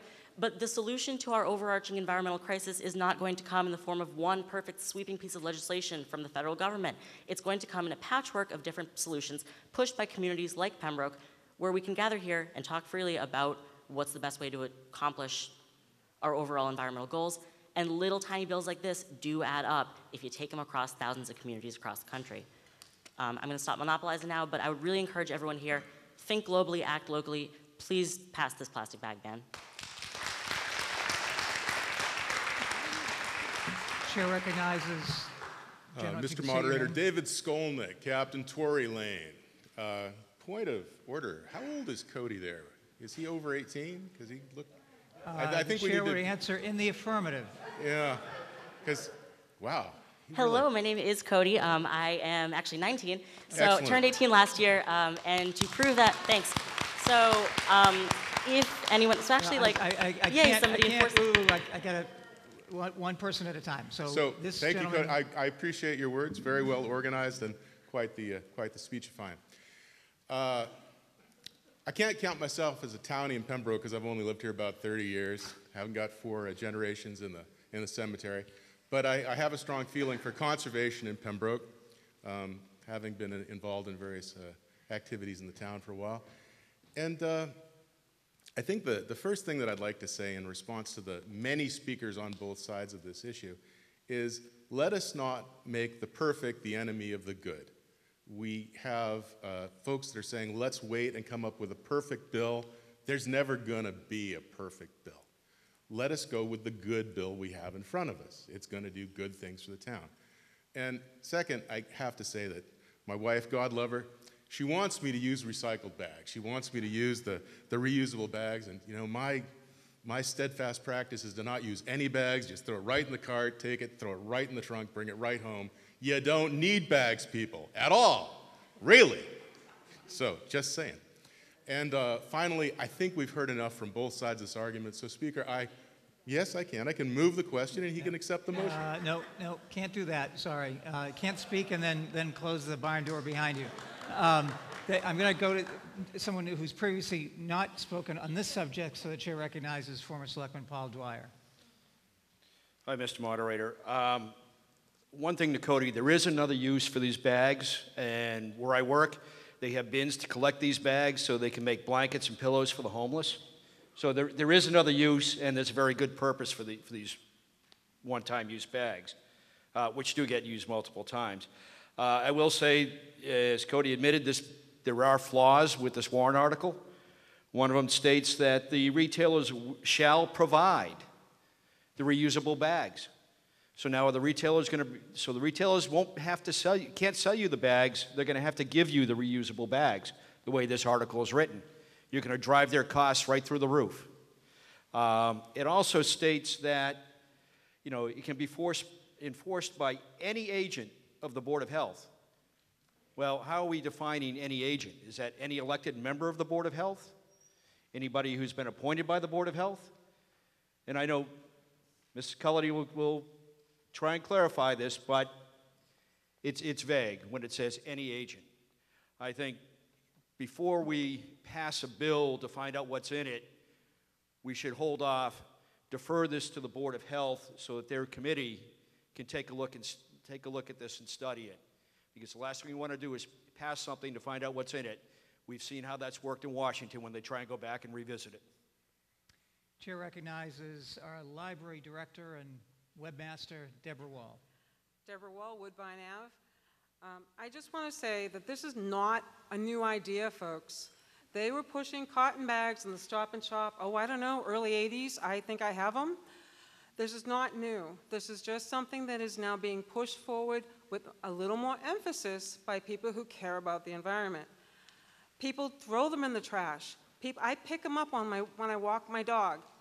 And as far as reusing them, speaking of my dog, um, if you happen to get a bag from the Stop and Shop, you, it doesn't make it home. It doesn't make it home in any kind of reusable state. Um, so that's a problem. I'm glad I get newspapers. Um, but it's not new. And I think that we can revisit the bylaw. If it's flawed, that's true. But 85 towns in Massachusetts have already done this. The state, I've been told, is looking at this as a statewide movement as well. Now, if the state does it, it would override our bylaw, I'm, I'm thinking. But in any event, we could look at it, and once it's in place, we would see what flaws there were. Thank you. Chair recognizes Health Agent Lisa Cull- Cullity. I want to be clear that I'm not speaking to the article, Mr. Moderator. I'm only raising the questions, uh, answering the questions that have been raised. The town has one agent, that is myself. I would be the only enforcement agent. State statute allows me to appoint agents to assist me, i.e., independent contractors. It was a statute done about 15 years ago when there weren't enough people to do inspections. So we do have two restaurant inspectors that are hired um, as subcontractors that can act with my due authority when they go out and inspect a restaurant. Um, the number of establishments using these materials are pretty consistent with our food um, license establishment. There's very few outside food license establishment that use these bags. So by and large, the inspections slash enforcement is something that is already occurring twice a year at all these establishments based on the, the inspections that we already do under food uh, service and retail. Chair recognizes, again, not previously having spoken on this matter, Sabrina Chilcott. Thank you, Mr. Moderator. I'm not here to discuss the merits or disadvantages or problems with plastic bags. I'm here to discuss the disadvantages and problems with the article. It's poorly written. It still says first draft. The enforcement is so ambiguous it can't actually be enforced. And frankly, the language is terrible. And I'm sorry. I know that's not what anybody wants to hear. We want to talk about environments and banning. I get it. But the bottom line is the writing on this article is on this, uh, excuse me, bylaw proposal isn't even up to the standard of our current bylaws, which are dated. Thank you. Chair recognizes Dan Pelletier. Just a different tune. Does anyone walk out of Trader Joe's and say, man, I wish I had a plastic bag instead? I mean, what are we really fighting against? That's all. Chair recognizes Stephanie Hagan. I just want to point out some inaccurate information that's been set up here, that's actual facts. Um, There are 85 towns that she mentioned that have already passed this in the state, including Marshfield, including Plymouth, including Bridgewater. Hanover will be passing theirs next year. Scituate should be passing theirs next week. Hanson will be passing theirs in the spring. So you will be driving quite far just to get your plastic bags, and maybe we'll have people in town coming here just to get their plastic bags. Um, once we get to the majority of cities and towns in the state, it will be going to a statewide vote. So at that point, within two to three years, it will be going to a statewide vote anyways. Um, also want to mention that only 4% of plastic bags are recycled and or reused for dog poop or things of that nature, 4%. Chair recognizes not previously having spoken, Stephen Walsh. Hi, Steve Walsh, Brenda Lane. I, I think it's, you have a great divide here. And I think when you start passing bylaws that are going to affect the whole town, maybe you should let the whole town vote on it. So I'm not in favor of this, but I'm just one person here. We're probably down to about 100 people, depending on how this vote turns out. In other bigger communities, they've put this on the ballot, and then we can really find out what the people in the town want. But right now, according to their figures from the people from this committee, 3% of the people in this town are using those little canvas bags, which means this is going to affect 97% of the people in this town. Do we have that enforcement? We have one health inspector who deals with restaurants, doesn't deal with the rest of the things in town. So I don't know where all our employees, you look at our budget, it isn't like we can hire some more. If anything, we'll be sending some people home. So I think, just a suggestion, I will vote it down, let the Board of Selectmen put it on the ballot, and let everyone vote for it in the spring. Then it'll be binding, and we'll have a good idea. Thank you. Chair recognizes Lisa Cullity. No? Um, I'll defer to the other speakers. Chair I am going to recognizes the Patrick, uh, actually, pa- No, go ahead. all right.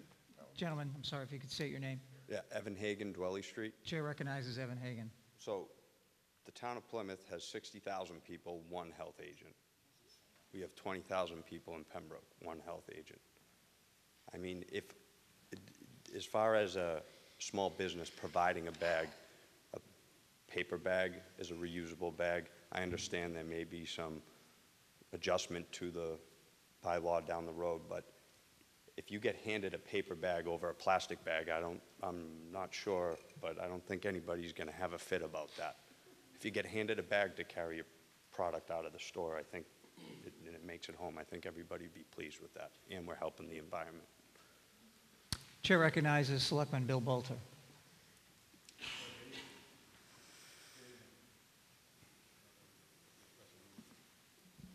On now? Okay. Um, What I'd like to say is that the Board of Selectmen uh, recommend favorable action on this article. And um, this, this is a, uh, in my opinion, it's a big article um, that we should pass. I, I really uh, like the idea of a subcommittee. Um, And I appreciate all the time and effort that Mr. Martin and his group are putting in to, um, you know, to look over this article. But I think that we should pass this article tonight. And next year, in the spring, when it comes to the springtime or whatever, we can take care of any uh, minor um, uh, writing that's in there, or if the article needs to be amended for something else, then we amend it. But if all these other towns, there's 80-something other towns in the state that have gone to this, then I don't see why we don't go to it. The other thing is that we're looking at our trash going up in rates. And I don't, nobody wants their trash going up in rates. And one of the reasons that the trash is going up in rates is because of plastic bags. So uh, I'd just like to see this article passed. Chair recognizes not previously spoken, your name? Uh, Walter Scola, Child Mark Street, move the question. The motion to move the question is always in order, most always in order. It's in order now. It is non-debatable. If it passes, we go right on to the question. If it fails, we'll continue debating. All those in favor of the motion to move the question, please raise your hand. All those opposed, please raise your hand. The ayes have it, and I declare it so voted. So we'll go right to the question. The motion has been made by Stephanie Hagan. It is, uh, requires a simple majority vote. All those in favor of the motion, please raise your hand. Opposed, please raise your hand. The ayes have it, and I declare it so voted.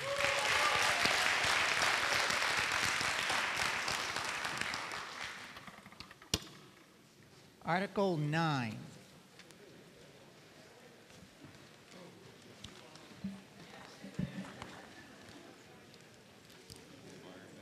Mr. Article 9 is on Moderator. page 4. The chair recognizes uh, Elizabeth Monks from advisory.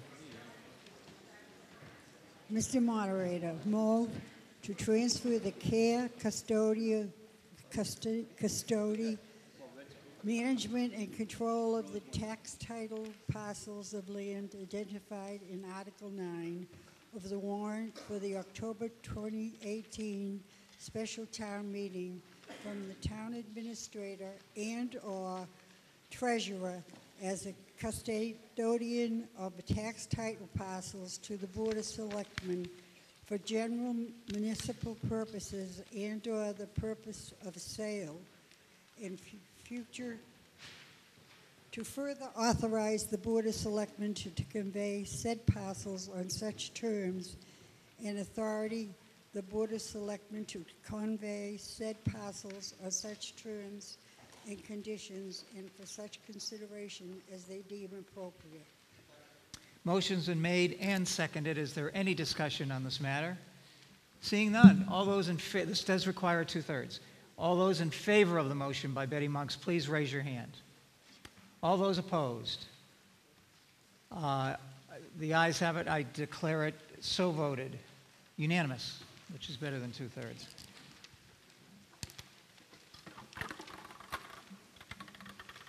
Article 4, we, no, Article 4 is the next item of business. Mr. Moderator, we move that the sum of... wait- wait a minute, the Chair, Chair would, just would advise um, that there are actually six separate motions that are associated with uh, this Article 4, and for purposes of making the first, mo- first motion, the Chair recognizes Matt Furlong from the Board of Selectmen. Thank you, Mr. Moderator. We move that the sum of 323,000 be appropriated to fund capital projects and equipment and funding sources related thereto in accordance with the capital budget schedule appearing in Article 4 of the warrant, excluding those items to be funded by borrowing and by free cash, that, and that to meet this appropriation, 103,000 shall be transferred from overlay surplus and 220,000 shall be transferred from the water surplus. Motion has been, uh, is there a second? Second. Chair is second. Any discussion on this motion? Chair recognizes Deb Wall. Mr. Moderator, um, I understand the motion, and- and it- that's fine. We have three articles in this, and the one that was earmarked as free cash is actually our more priority one. It's our fire alarm and fire suppression system for $9,000. I would like, if it's possible, and I don't know how to do that um, on this floor, to move that article into overlay surplus and take out the $15,000 carpet. So actually, it's cheaper. Um, Is that possible? Is that something we can do? Well, the chair would state that amendments are always in order, but we need it in writing, and the chair recognizes Linda Peterson. Mr. Moderator, would you have the Board of Selectmen enumerate exactly which articles they're talking about, what they are exactly saying for the benefit of the townsfolk? I don't think it's clear.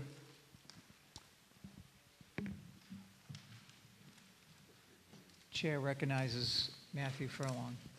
Sure, so we'd go ahead and move every funding, if you look, take a look at Article 4 in the warrant, every article or every item that has free cash under funding would be removed. Chair recognizes Mike Buckley. Thank you, Mr. Moderator. I think everyone knows how I feel um, about next year's budget and how I feel about um, saving every nickel we can, including not only free cash but overlay surplus. So I would strongly recommend that um, this motion not be passed and all overlay surplus and all free cash be saved for next year's budget. We talked about ad nauseum before what next year's budget is going to look like. Um, and that's my two cents. Thank you. Chair recognizes Kathy Salmon, Chief Assessor Appraiser. Thank you, Mr. Moderator. Um, Out of the overlay surplus, I'm looking for an assessor's vehicle. I know in light of everything that's been talked about, you're probably wondering what in the world is the importance of that, and I have to tell you that. The assessors are required to inspect and re-inspect all the property in town. We have 7,000 parcels. I have to value $2.8 billion of value each and every year. The Department of Revenue requires that we go out to those properties. If we don't go to the properties, we don't get our values certified. If we don't get certification of values, then the town can't get a certified tax rate. If we don't have a certified tax rate, then we can't send actual property tax bills. The property tax is the single largest revenue stream for the town of Pembroke. We pay 60%, excuse me, we fund 60% of the revenue of the budget through the property tax. I need the car. The reason that it's here now is not because of poor planning on the assessors. This was on the capital plan for the town for fiscal year 2014. In 2012, I started informing the town administrator, the Board of Selectmen, and the advisory that our car was up and due to be replaced. It kept running, so we kept foregoing it, but we kept warning the town that if something happened, we needed it replaced. I can't wait on this. I can't have the car go down, and I can't not be out inspecting. It's not a problem just for the assessors, it's a big problem for the town. So I ask that you support the article um, that is requesting this item out of overlay surplus. Thank you. Chair recognizes Scott Globin, DPW. Hi, Scott Globin, Assistant Director for the DPW. We have two articles on this for OSHA safety equipment. As of February of next year, we fall under the rules of OSHA, which we don't do right now. We try to follow them, but we don't have to. As of February, we are mandated. If we do not get this equipment, the gentleman will not be getting in holes to repair water breaks or any road issues out there, because by law, they can't. So we need the safety equipment. We've been looking for it for a couple of years. We need it this year, or you're going to have big problems if we have water breaks out there. Thank you. Chair recognizes Dan Trabucco from the Board of Selectmen. Uh, So, Mr. Moderator, through you to town meeting, this is the start of the belt tightening. We had, we funded some articles earlier this meeting through free cash. You can't, you- you can't take it all. It has to come from somewhere. It's coming from here. This is what we have. The assessor's car, you're gonna have to use your own and, and take mileage. Your trench boxes, the last, when's the last time the DPW dug a trench without having a subcontractor do it anyway? You're gonna have to do, you're gonna have to do it yourself. This, this is, this is the start of it. This is the, the start of it. Next year is gonna be worse. And Scott, if I misspoke, please just, just tell me I'm Well- wrong well, about the Dan, trench Well, I Right- can't, can't, right on the I- town I- I green. can't do it, can't do it, can't do it, just. I'm So, gonna- fair warning. This is the start. Next year, it's going to get worse. It's going to get worse. Next year, well, let's deal with this town meeting. This is the start of it. It's going to get worse next year. You're going to, we're all going to have to make tough decisions in this room and at the ballot box next year. Chair recognizes Scott Globin. Dan, I, I respect your issue for this, but just in the town green, when we were doing the Route 14 project, we had to add a catch basin in. The guys were down 11 feet in a sandy hole. That's where they needed the box. We didn't have the box. Luckily, we squeaked by and got the job done. We've had water breaks where the trench is over 10 feet deep. We've been fortunate, there's been no accidents. Now, all you're doing is forcing us to call a contractor every time it's something that we have to get in a hole for. Thank And you I- for- I'm just giving, I'm just giving you a heads up, that's all, Dan. Chair recognizes Chief Wall. Thanks for clarifying that. So on the uh, items that the police department was looking for, uh, you can remove the entry, exterior, interior door. We can wait on that. The uh, TruNarc handheld, you know, we had two officers that got exposed to uh, unknown chemicals and end up in the hospital, but we can wait on that. Uh, The ammunition for mandatory firearms training, uh, normally, at the end of the year, I have no line item for ammunition. At the end of the budget year, we look through all of our uh, unspent monies. We usually cobble together enough money to encumber it to pay for the, um, pay for the training, which we do in September. So that one's kind of, uh, kind of important. We've already had most of our firearms training. And uh, the purchase of one police cruiser supplemental funds, the spring budget only included thirty-eight, thirty-seven thousand five hundred dollars to purchase a cruiser, and that's from, I don't know, two thousand and four. Uh, The price of the cruiser, again, what we asked for was fifty-one thousand. Um, If we have to go without a cruiser because the belt has to be tightened, I mean, we're gonna end up probably paying for maintenance in the long run, but uh, do what you gotta do, but I absolutely need to have ammunition, because that's a mandatory training. Thank you. Uh, Is there any further discussion? So we have two items before us and five more after this, all in the same article. The first is the um, motion by Deborah Wall to amend the main motion. And her motion is as follows. Uh, Move to, motion to, move to amend Article 4 by changing the funding source for the library replacement of fire alarm and fire suppression system from free cash to overlay surplus, and to further amend by changing the funding source for library replacement or carpet, in is that, or carpet in children's room from overlay surplus to free cash, such that amount be transferred from overlay surplus is decreased by $5,948. That's the motion. It's been seconded. All those in favor of Deborah's motion, please raise your hand. All those opposed? The ayes have it, and I declare it so voted. On the main motion by Matthew Furlong, as amended, Chair recognizes Becky Coletta from the Planning Board. Hi, Becky Coletta, Verna Hall Drive. I just have a question on the, on the motion that's before us right now. I see DPW is asking for water surplus of 220,000 for the Swanberg property water supply development cost. Could somebody just tell us what that is? And I take it if it's coming from water surplus, it's already baked into the water rates? Chair recognizes Mike Buckley. That's not in this motion, Matt? Thank you, Mr. Moderator. The $220,000 is basically the profit and the retained earnings that the Water Enterprise Fund has used, and this is to continue to, to um, develop the Swangbrook property as a new well site. Any further discussion? On the main motion, as amended, all those in favor, please raise your hand. Opposed? The ayes have it, and I declare it so voted. On second motion, on Article 4, the chair recognizes Matthew Furlong. Thank you, Mr. Moderator.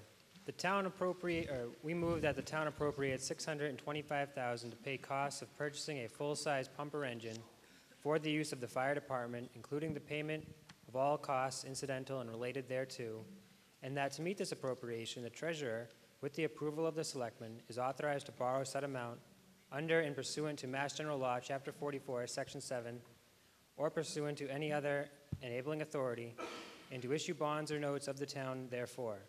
Any premium received upon the sale of, the, of any bonds or notes approved by this vote, less any such premium applied to the payment of the costs of insurance of such bonds or notes, may be applied to the payment of costs approved by this vote in accordance with Mass General Law, Chapter 44, Section 20, thereby reducing the amount authorized to be borrowed to pay such costs by a like amount. Is there a second? Chair, uh, motion's made and seconded. The chair recognizes Fire Chief Michael Hill. So by that motion, I'm assuming you're not going to support the other engine and the hose and appliances? No, it's two motions. I only heard the one for 625. Chair recognizes Dan Trabucco. Uh, Chief, it has to be two motions. There will, there'll be a second motion after this. Okay. Both, both supported by the selectmen. Chair recognizes uh, Steve Curley. Uh, Mr. Moderator, um, just want to point out that while this is not going to affect the free cash and it's not going to affect the uh, current budget, it is going to be, well, what is this going to be, a 10-year borrow? This one's a 15, the next, uh, okay, no, th- this is this a- one's an eight, the next one's a 15. Okay, this one's an eight-year borrow, so this is going to be adding uh, $70,000 a year approximately to the, uh, to the budget just in the debt uh, servicing. Um, Again, after some of the things that went before, I'm very, very uh, nervous about uh, what the future budgets are going to be. This is getting, uh, it's, it's piling on. Chair recognizes Mike Buckley. Thank you, Mr. Moderator. Just to be clear, there are two motions, um, one on the floor right now for a fire truck to be bonded and paid for by the general fund, and then the next motion will be a fire truck, a fire pumper, um, to be bonded and paid for by the ambulance fund. Um, I am speaking against this one, that's to be funded by the general fund, because I honestly don't think the general fund in fiscal '20, especially what's gone, after what's gone on tonight and what we already know, will be able to afford the debt, uh, debt service. I will um, tell everyone I will support the next one because the chief has identified a funding source. I hate to say it because I know how bad they need the trucks, both trucks, but um, that's where I stand. Thank you.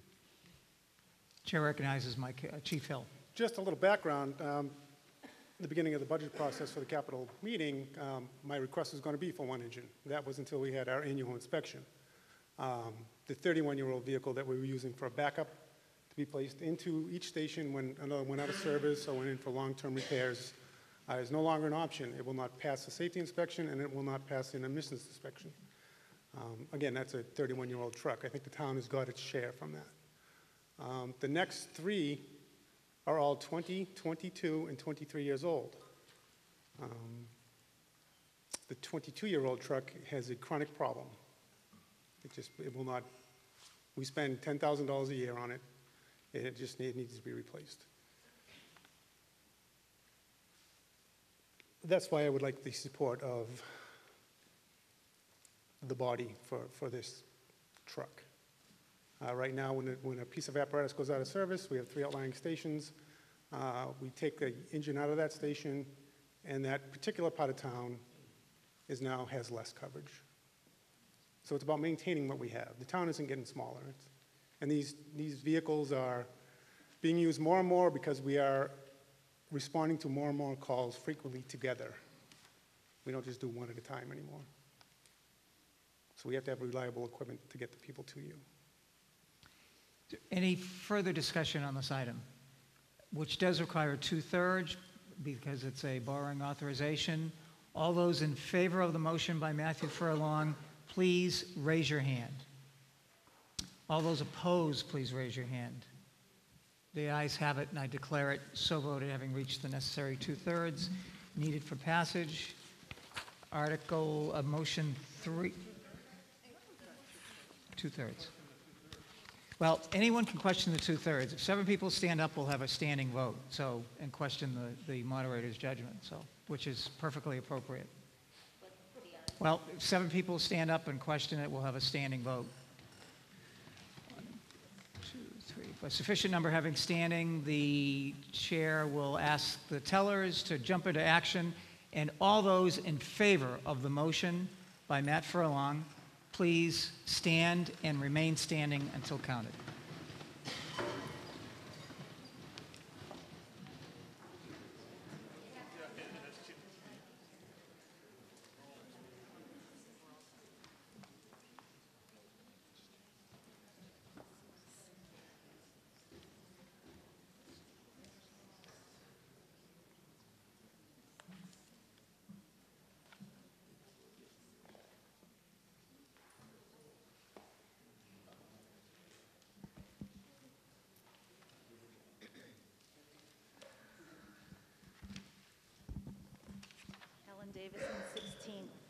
Ellen Davison, 16, yes.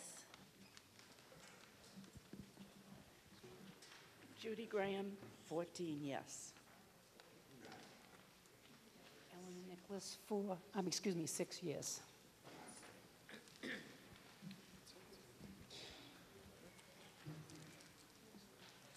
Gail Sim, 36, yes.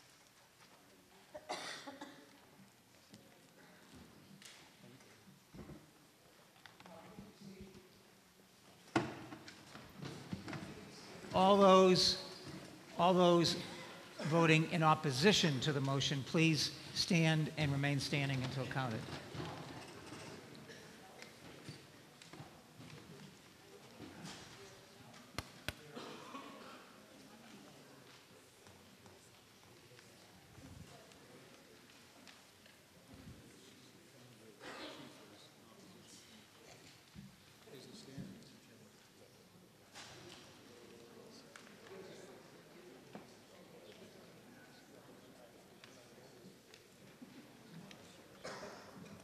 Davison, 15, no. Nicholas, six no. Just go right into the microphone. Judy Graham, two no. Gail Sim, 10, no.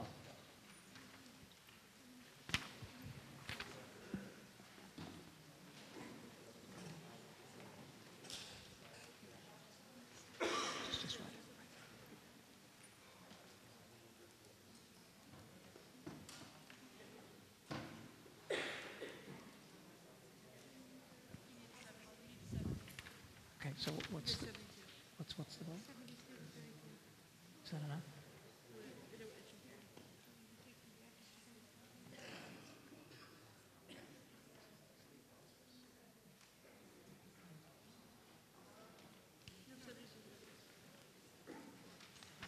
Hi, math here. Um, The chair would uh, report that the vote was 72 in favor, 33 in the negative, uh, sufficient number having reached for two, for passage. uh, The two-thirds would have been 70, so it passed by two votes, 72-33. So the motion carries and is so voted. The chair recognizes uh, uh, Matt Furlong uh, from a- a Board of Selectmen. Thank you, Mr. Moderator. We move that the town appropriate $625,000 to pay costs of purchasing a full-size pumper engine for the use of the fire department, including the payment of all costs incidental and related thereto, and that to meet this appropriation, the treasurer, with the approval of the selectmen, is authorized to borrow said amount under and pursuant to Mass General Law, Chapter 44, Section 7, or pursuant to any other enabling authority, and to issue bonds or notes of the town therefore. Any premium received upon the sale of any bonds or notes approved by this vote, less any such premium applied to the payment of the cost of insurance of such bonds or notes, may be applied to the payment of costs approved by this vote in accordance with Mass General Law, Chapter 44, Section 7, or Section 20, thereby reducing the amount authorized to be borrowed to pay such costs by a like amount. Motion's been made and seconded. The chair recognizes Mike Buckley. Quickly, uh, Mr. Moderator, the chief has come up with a plan to pay for the debt service from the ambulance fund, so this should be passed unanimously. Any further discussion on this matter? Seeing none. All those, uh, this once again requires a two-thirds vote. Uh, All those in favor of the motion by Matt Furlong, please raise your hand. Opposed, please raise your hand. The ayes have it, and I declare it so voted, having reached the necessary two-thirds necessary for passage. Fourth motion, chair recognizes Matt Furlong. Thank you, Mr. Moderator. We move that the town appropriate 75,000 to pay costs of purchasing supply hose, attack hose, and related appliances for the use of the fire department, including the payment of all costs incidental and related thereto, and that to meet this appropriation, the treasurer, with the approval of the selectmen, is authorized to borrow said amount under and pursuant to Mass General Law, Chapter 44, Section 7, or pursuant to any other enabling authority, and to issue bonds or notes of the town therefore. Any premium received upon the sale of any bonds or notes approved by this vote, less any such premium applied to the payment of the cost of insurance of such bonds or notes, may be applied to the payment of the cost approved by this vote in accordance with Mass General Law, Chapter 44, Section 20, thereby reducing the amount authorized to be borrowed to pay such costs by a like amount. Motion's been made and seconded. Chair recognizes Chief Hill. Thank you, Mr. Moderator. Um, This article is to replace most, if not all, of our hose. Uh, A lot of our supply hose is from the 90s. A lot of our attack hose is from the early 2000s, uh, as well as our appliances. And this will just upgrade our our hose inventory to meet the needs of the department. Any further discussion? Seeing none, this requires a two-thirds. All those in favor of the motion by Matthew Furlong, please raise your hand. All those opposed? The ayes have it, and I declare it so voted. Chair recognizes Matt Furlong. Thank you, Mr. Moderator. We move that the town appropriate 75,000 to pay costs of purchasing one dump truck and plow for the use of the DPW department, including the payment of all costs incidental and related thereto, and that to meet this appropriation, the treasurer, with the approval of the selectmen, is authorized to borrow said amount under and pursuant to Mass General Law, Chapter 44, Section 7, or pursuant to any other enabling authority, and to issue bonds or notes of the town therefore.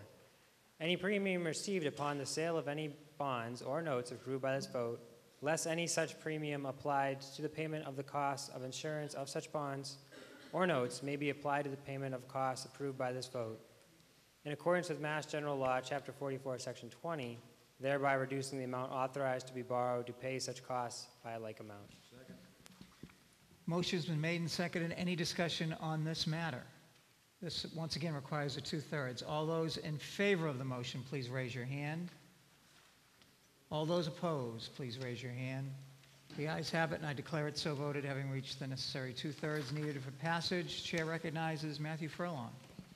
Thank you, Mr. Moderator. We move that the town appropriate 1,750,000 to pay costs of upgrades to the water filtration plant, including the payment of all costs incidental and related thereto, and that to meet this appropriation, $860,669.03 shall be transferred from funds borrowed to pay costs of roof replacement projects at the North Pembroke and Hobomock Elementary Schools, Pembroke Community Middle School, and Pembroke High School, which amount is no longer needed to complete the projects for which it was borrowed, and the treasurer, with the approval of the selectmen, is authorized to borrow $889,330.97 under and pursuant to Mass General Law, Chapter 44, Section 7, or pursuant to any other enabling authority, and to issue bonds or notes of the town therefore. Any premium received upon the sale of any bonds or notes approved by this vote, less any such premium applied to the payments of the cost of insurance of such bonds or notes may be applied to the payment of costs approved by this vote in accordance with Mass General Law, Chapter 44, Section 20, thereby reducing the amount authorized to be borrowed to pay such costs by a like amount. Motion's been made and seconded. Any discussion on the motion? Seeing none, this requires a two-thirds as well. All those in favor of the motion, please raise your hand. All those opposed, please raise your hand. The ayes have it. I declare it so voted, having reached the necessary two-thirds necessary for passage. Three items of business left, and the chair has been remiss. Uh, For many years, the town has been ably represented by Kopelman and Paige, and tonight we're happy to have with us, uh, in the place of our usual town council, Joel Bard, Carolyn Murray, who's sitting to the left of the Board of Selectmen here, and we thank Carolyn for her services. Uh, The next item of business, Article 14, which we did, actually, right? Yeah, So, Article 7. Chair recognizes Matthew Norton from Advisory. Move that the town appropriate and transfer from free cash the sum of $100,000 to be added to the other post-employment benefits liability fund established by a vote of Article 11 of the April 24th, 2012 annual town meeting. And further, that the sum of $125,000 be appropriated and transferred from free cash to be added to the amount voted in Article 16 of the November 4th, 2003 special town meeting to fund separation pay benefits. And further, that the sum of $25,000 be appropriated and transferred from free cash to be added to the special injury leave fund established by a vote of April, Article 7 of the May 9th, 2017 town meeting. And further, that the sum of $75,000 be appropriated and transferred from free cash to be added to the Workers' Compensation Insurance Fund established by the vote of Article 4 of the October 24th, 2017 town meeting, and that the sum of $25,000 be appropriated and transferred from free cash to be added to the stabilization fund. Motion has been made and seconded. Is there any discussion? Seeing none, this just uh, requires a simple majority. All those in favor of the motion by Matthew Norton, please raise your hand. No? No. All right, yeah, uh, simple majority. All those in favor of the motion, please raise your hand. All those opposed, please raise your hand. The ayes have it, and I declare it so voted. The last item of business, correct, is the item that we postponed, Article 15. And the chair recognizes Steve Curley of Uh, advisory. Mr. Moderator, um, this is another sum that would be coming out of free cash to uh, increase the uh, wages in, in- as a line item. Uh, At this point in time, I would recommend unfavorable action as we've uh, spent a considerable amount of the free cash and have very little left. Meeting will be in a very brief recess.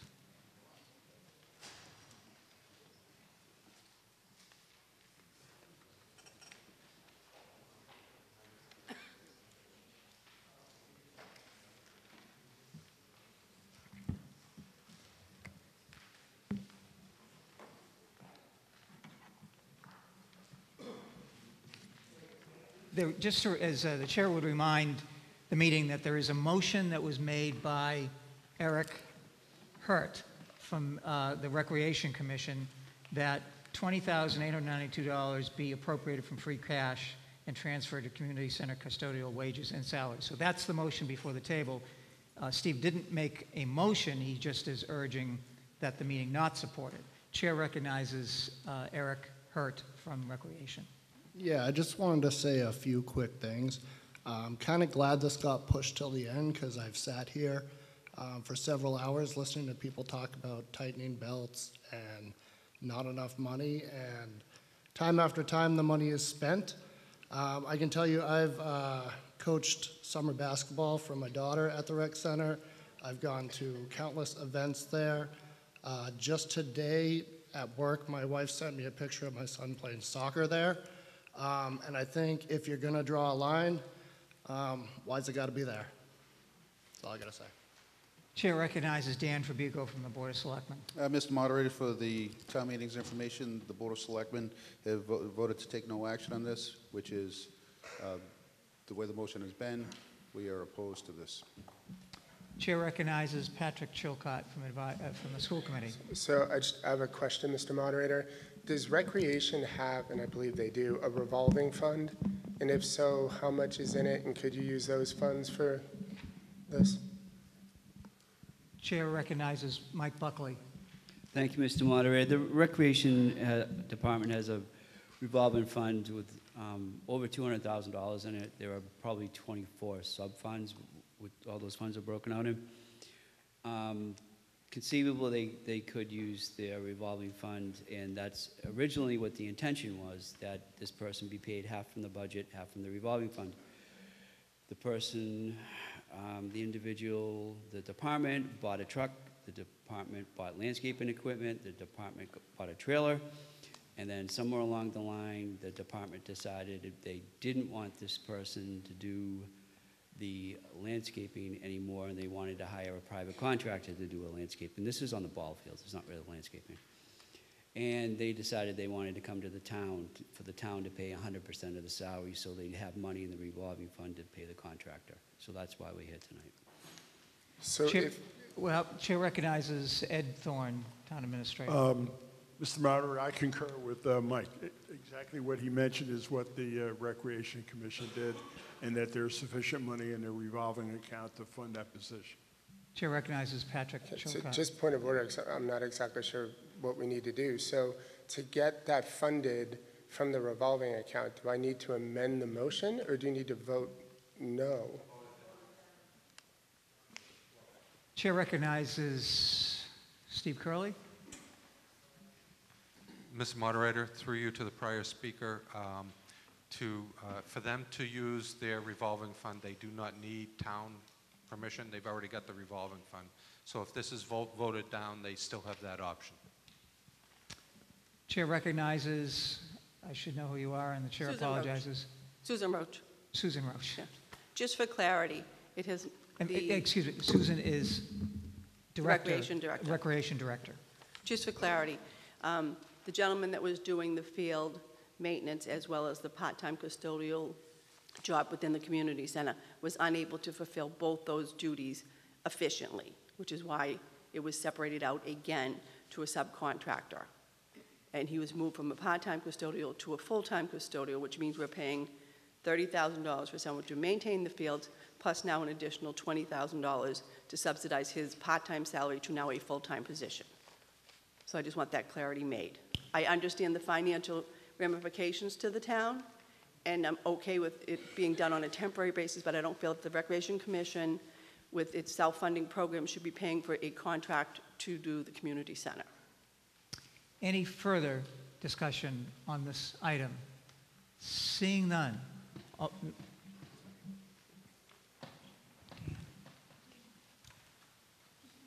After the fifth time, the chair will get it right. Dan Pelletier. Yes. um, Chair recognizes Dan Pelletier. So if I'm reading this correctly, this person went full-time in June? So we went full-time without having the funding to pay for them to be full-time? Or is this, Chair recognizes Ed Thorne.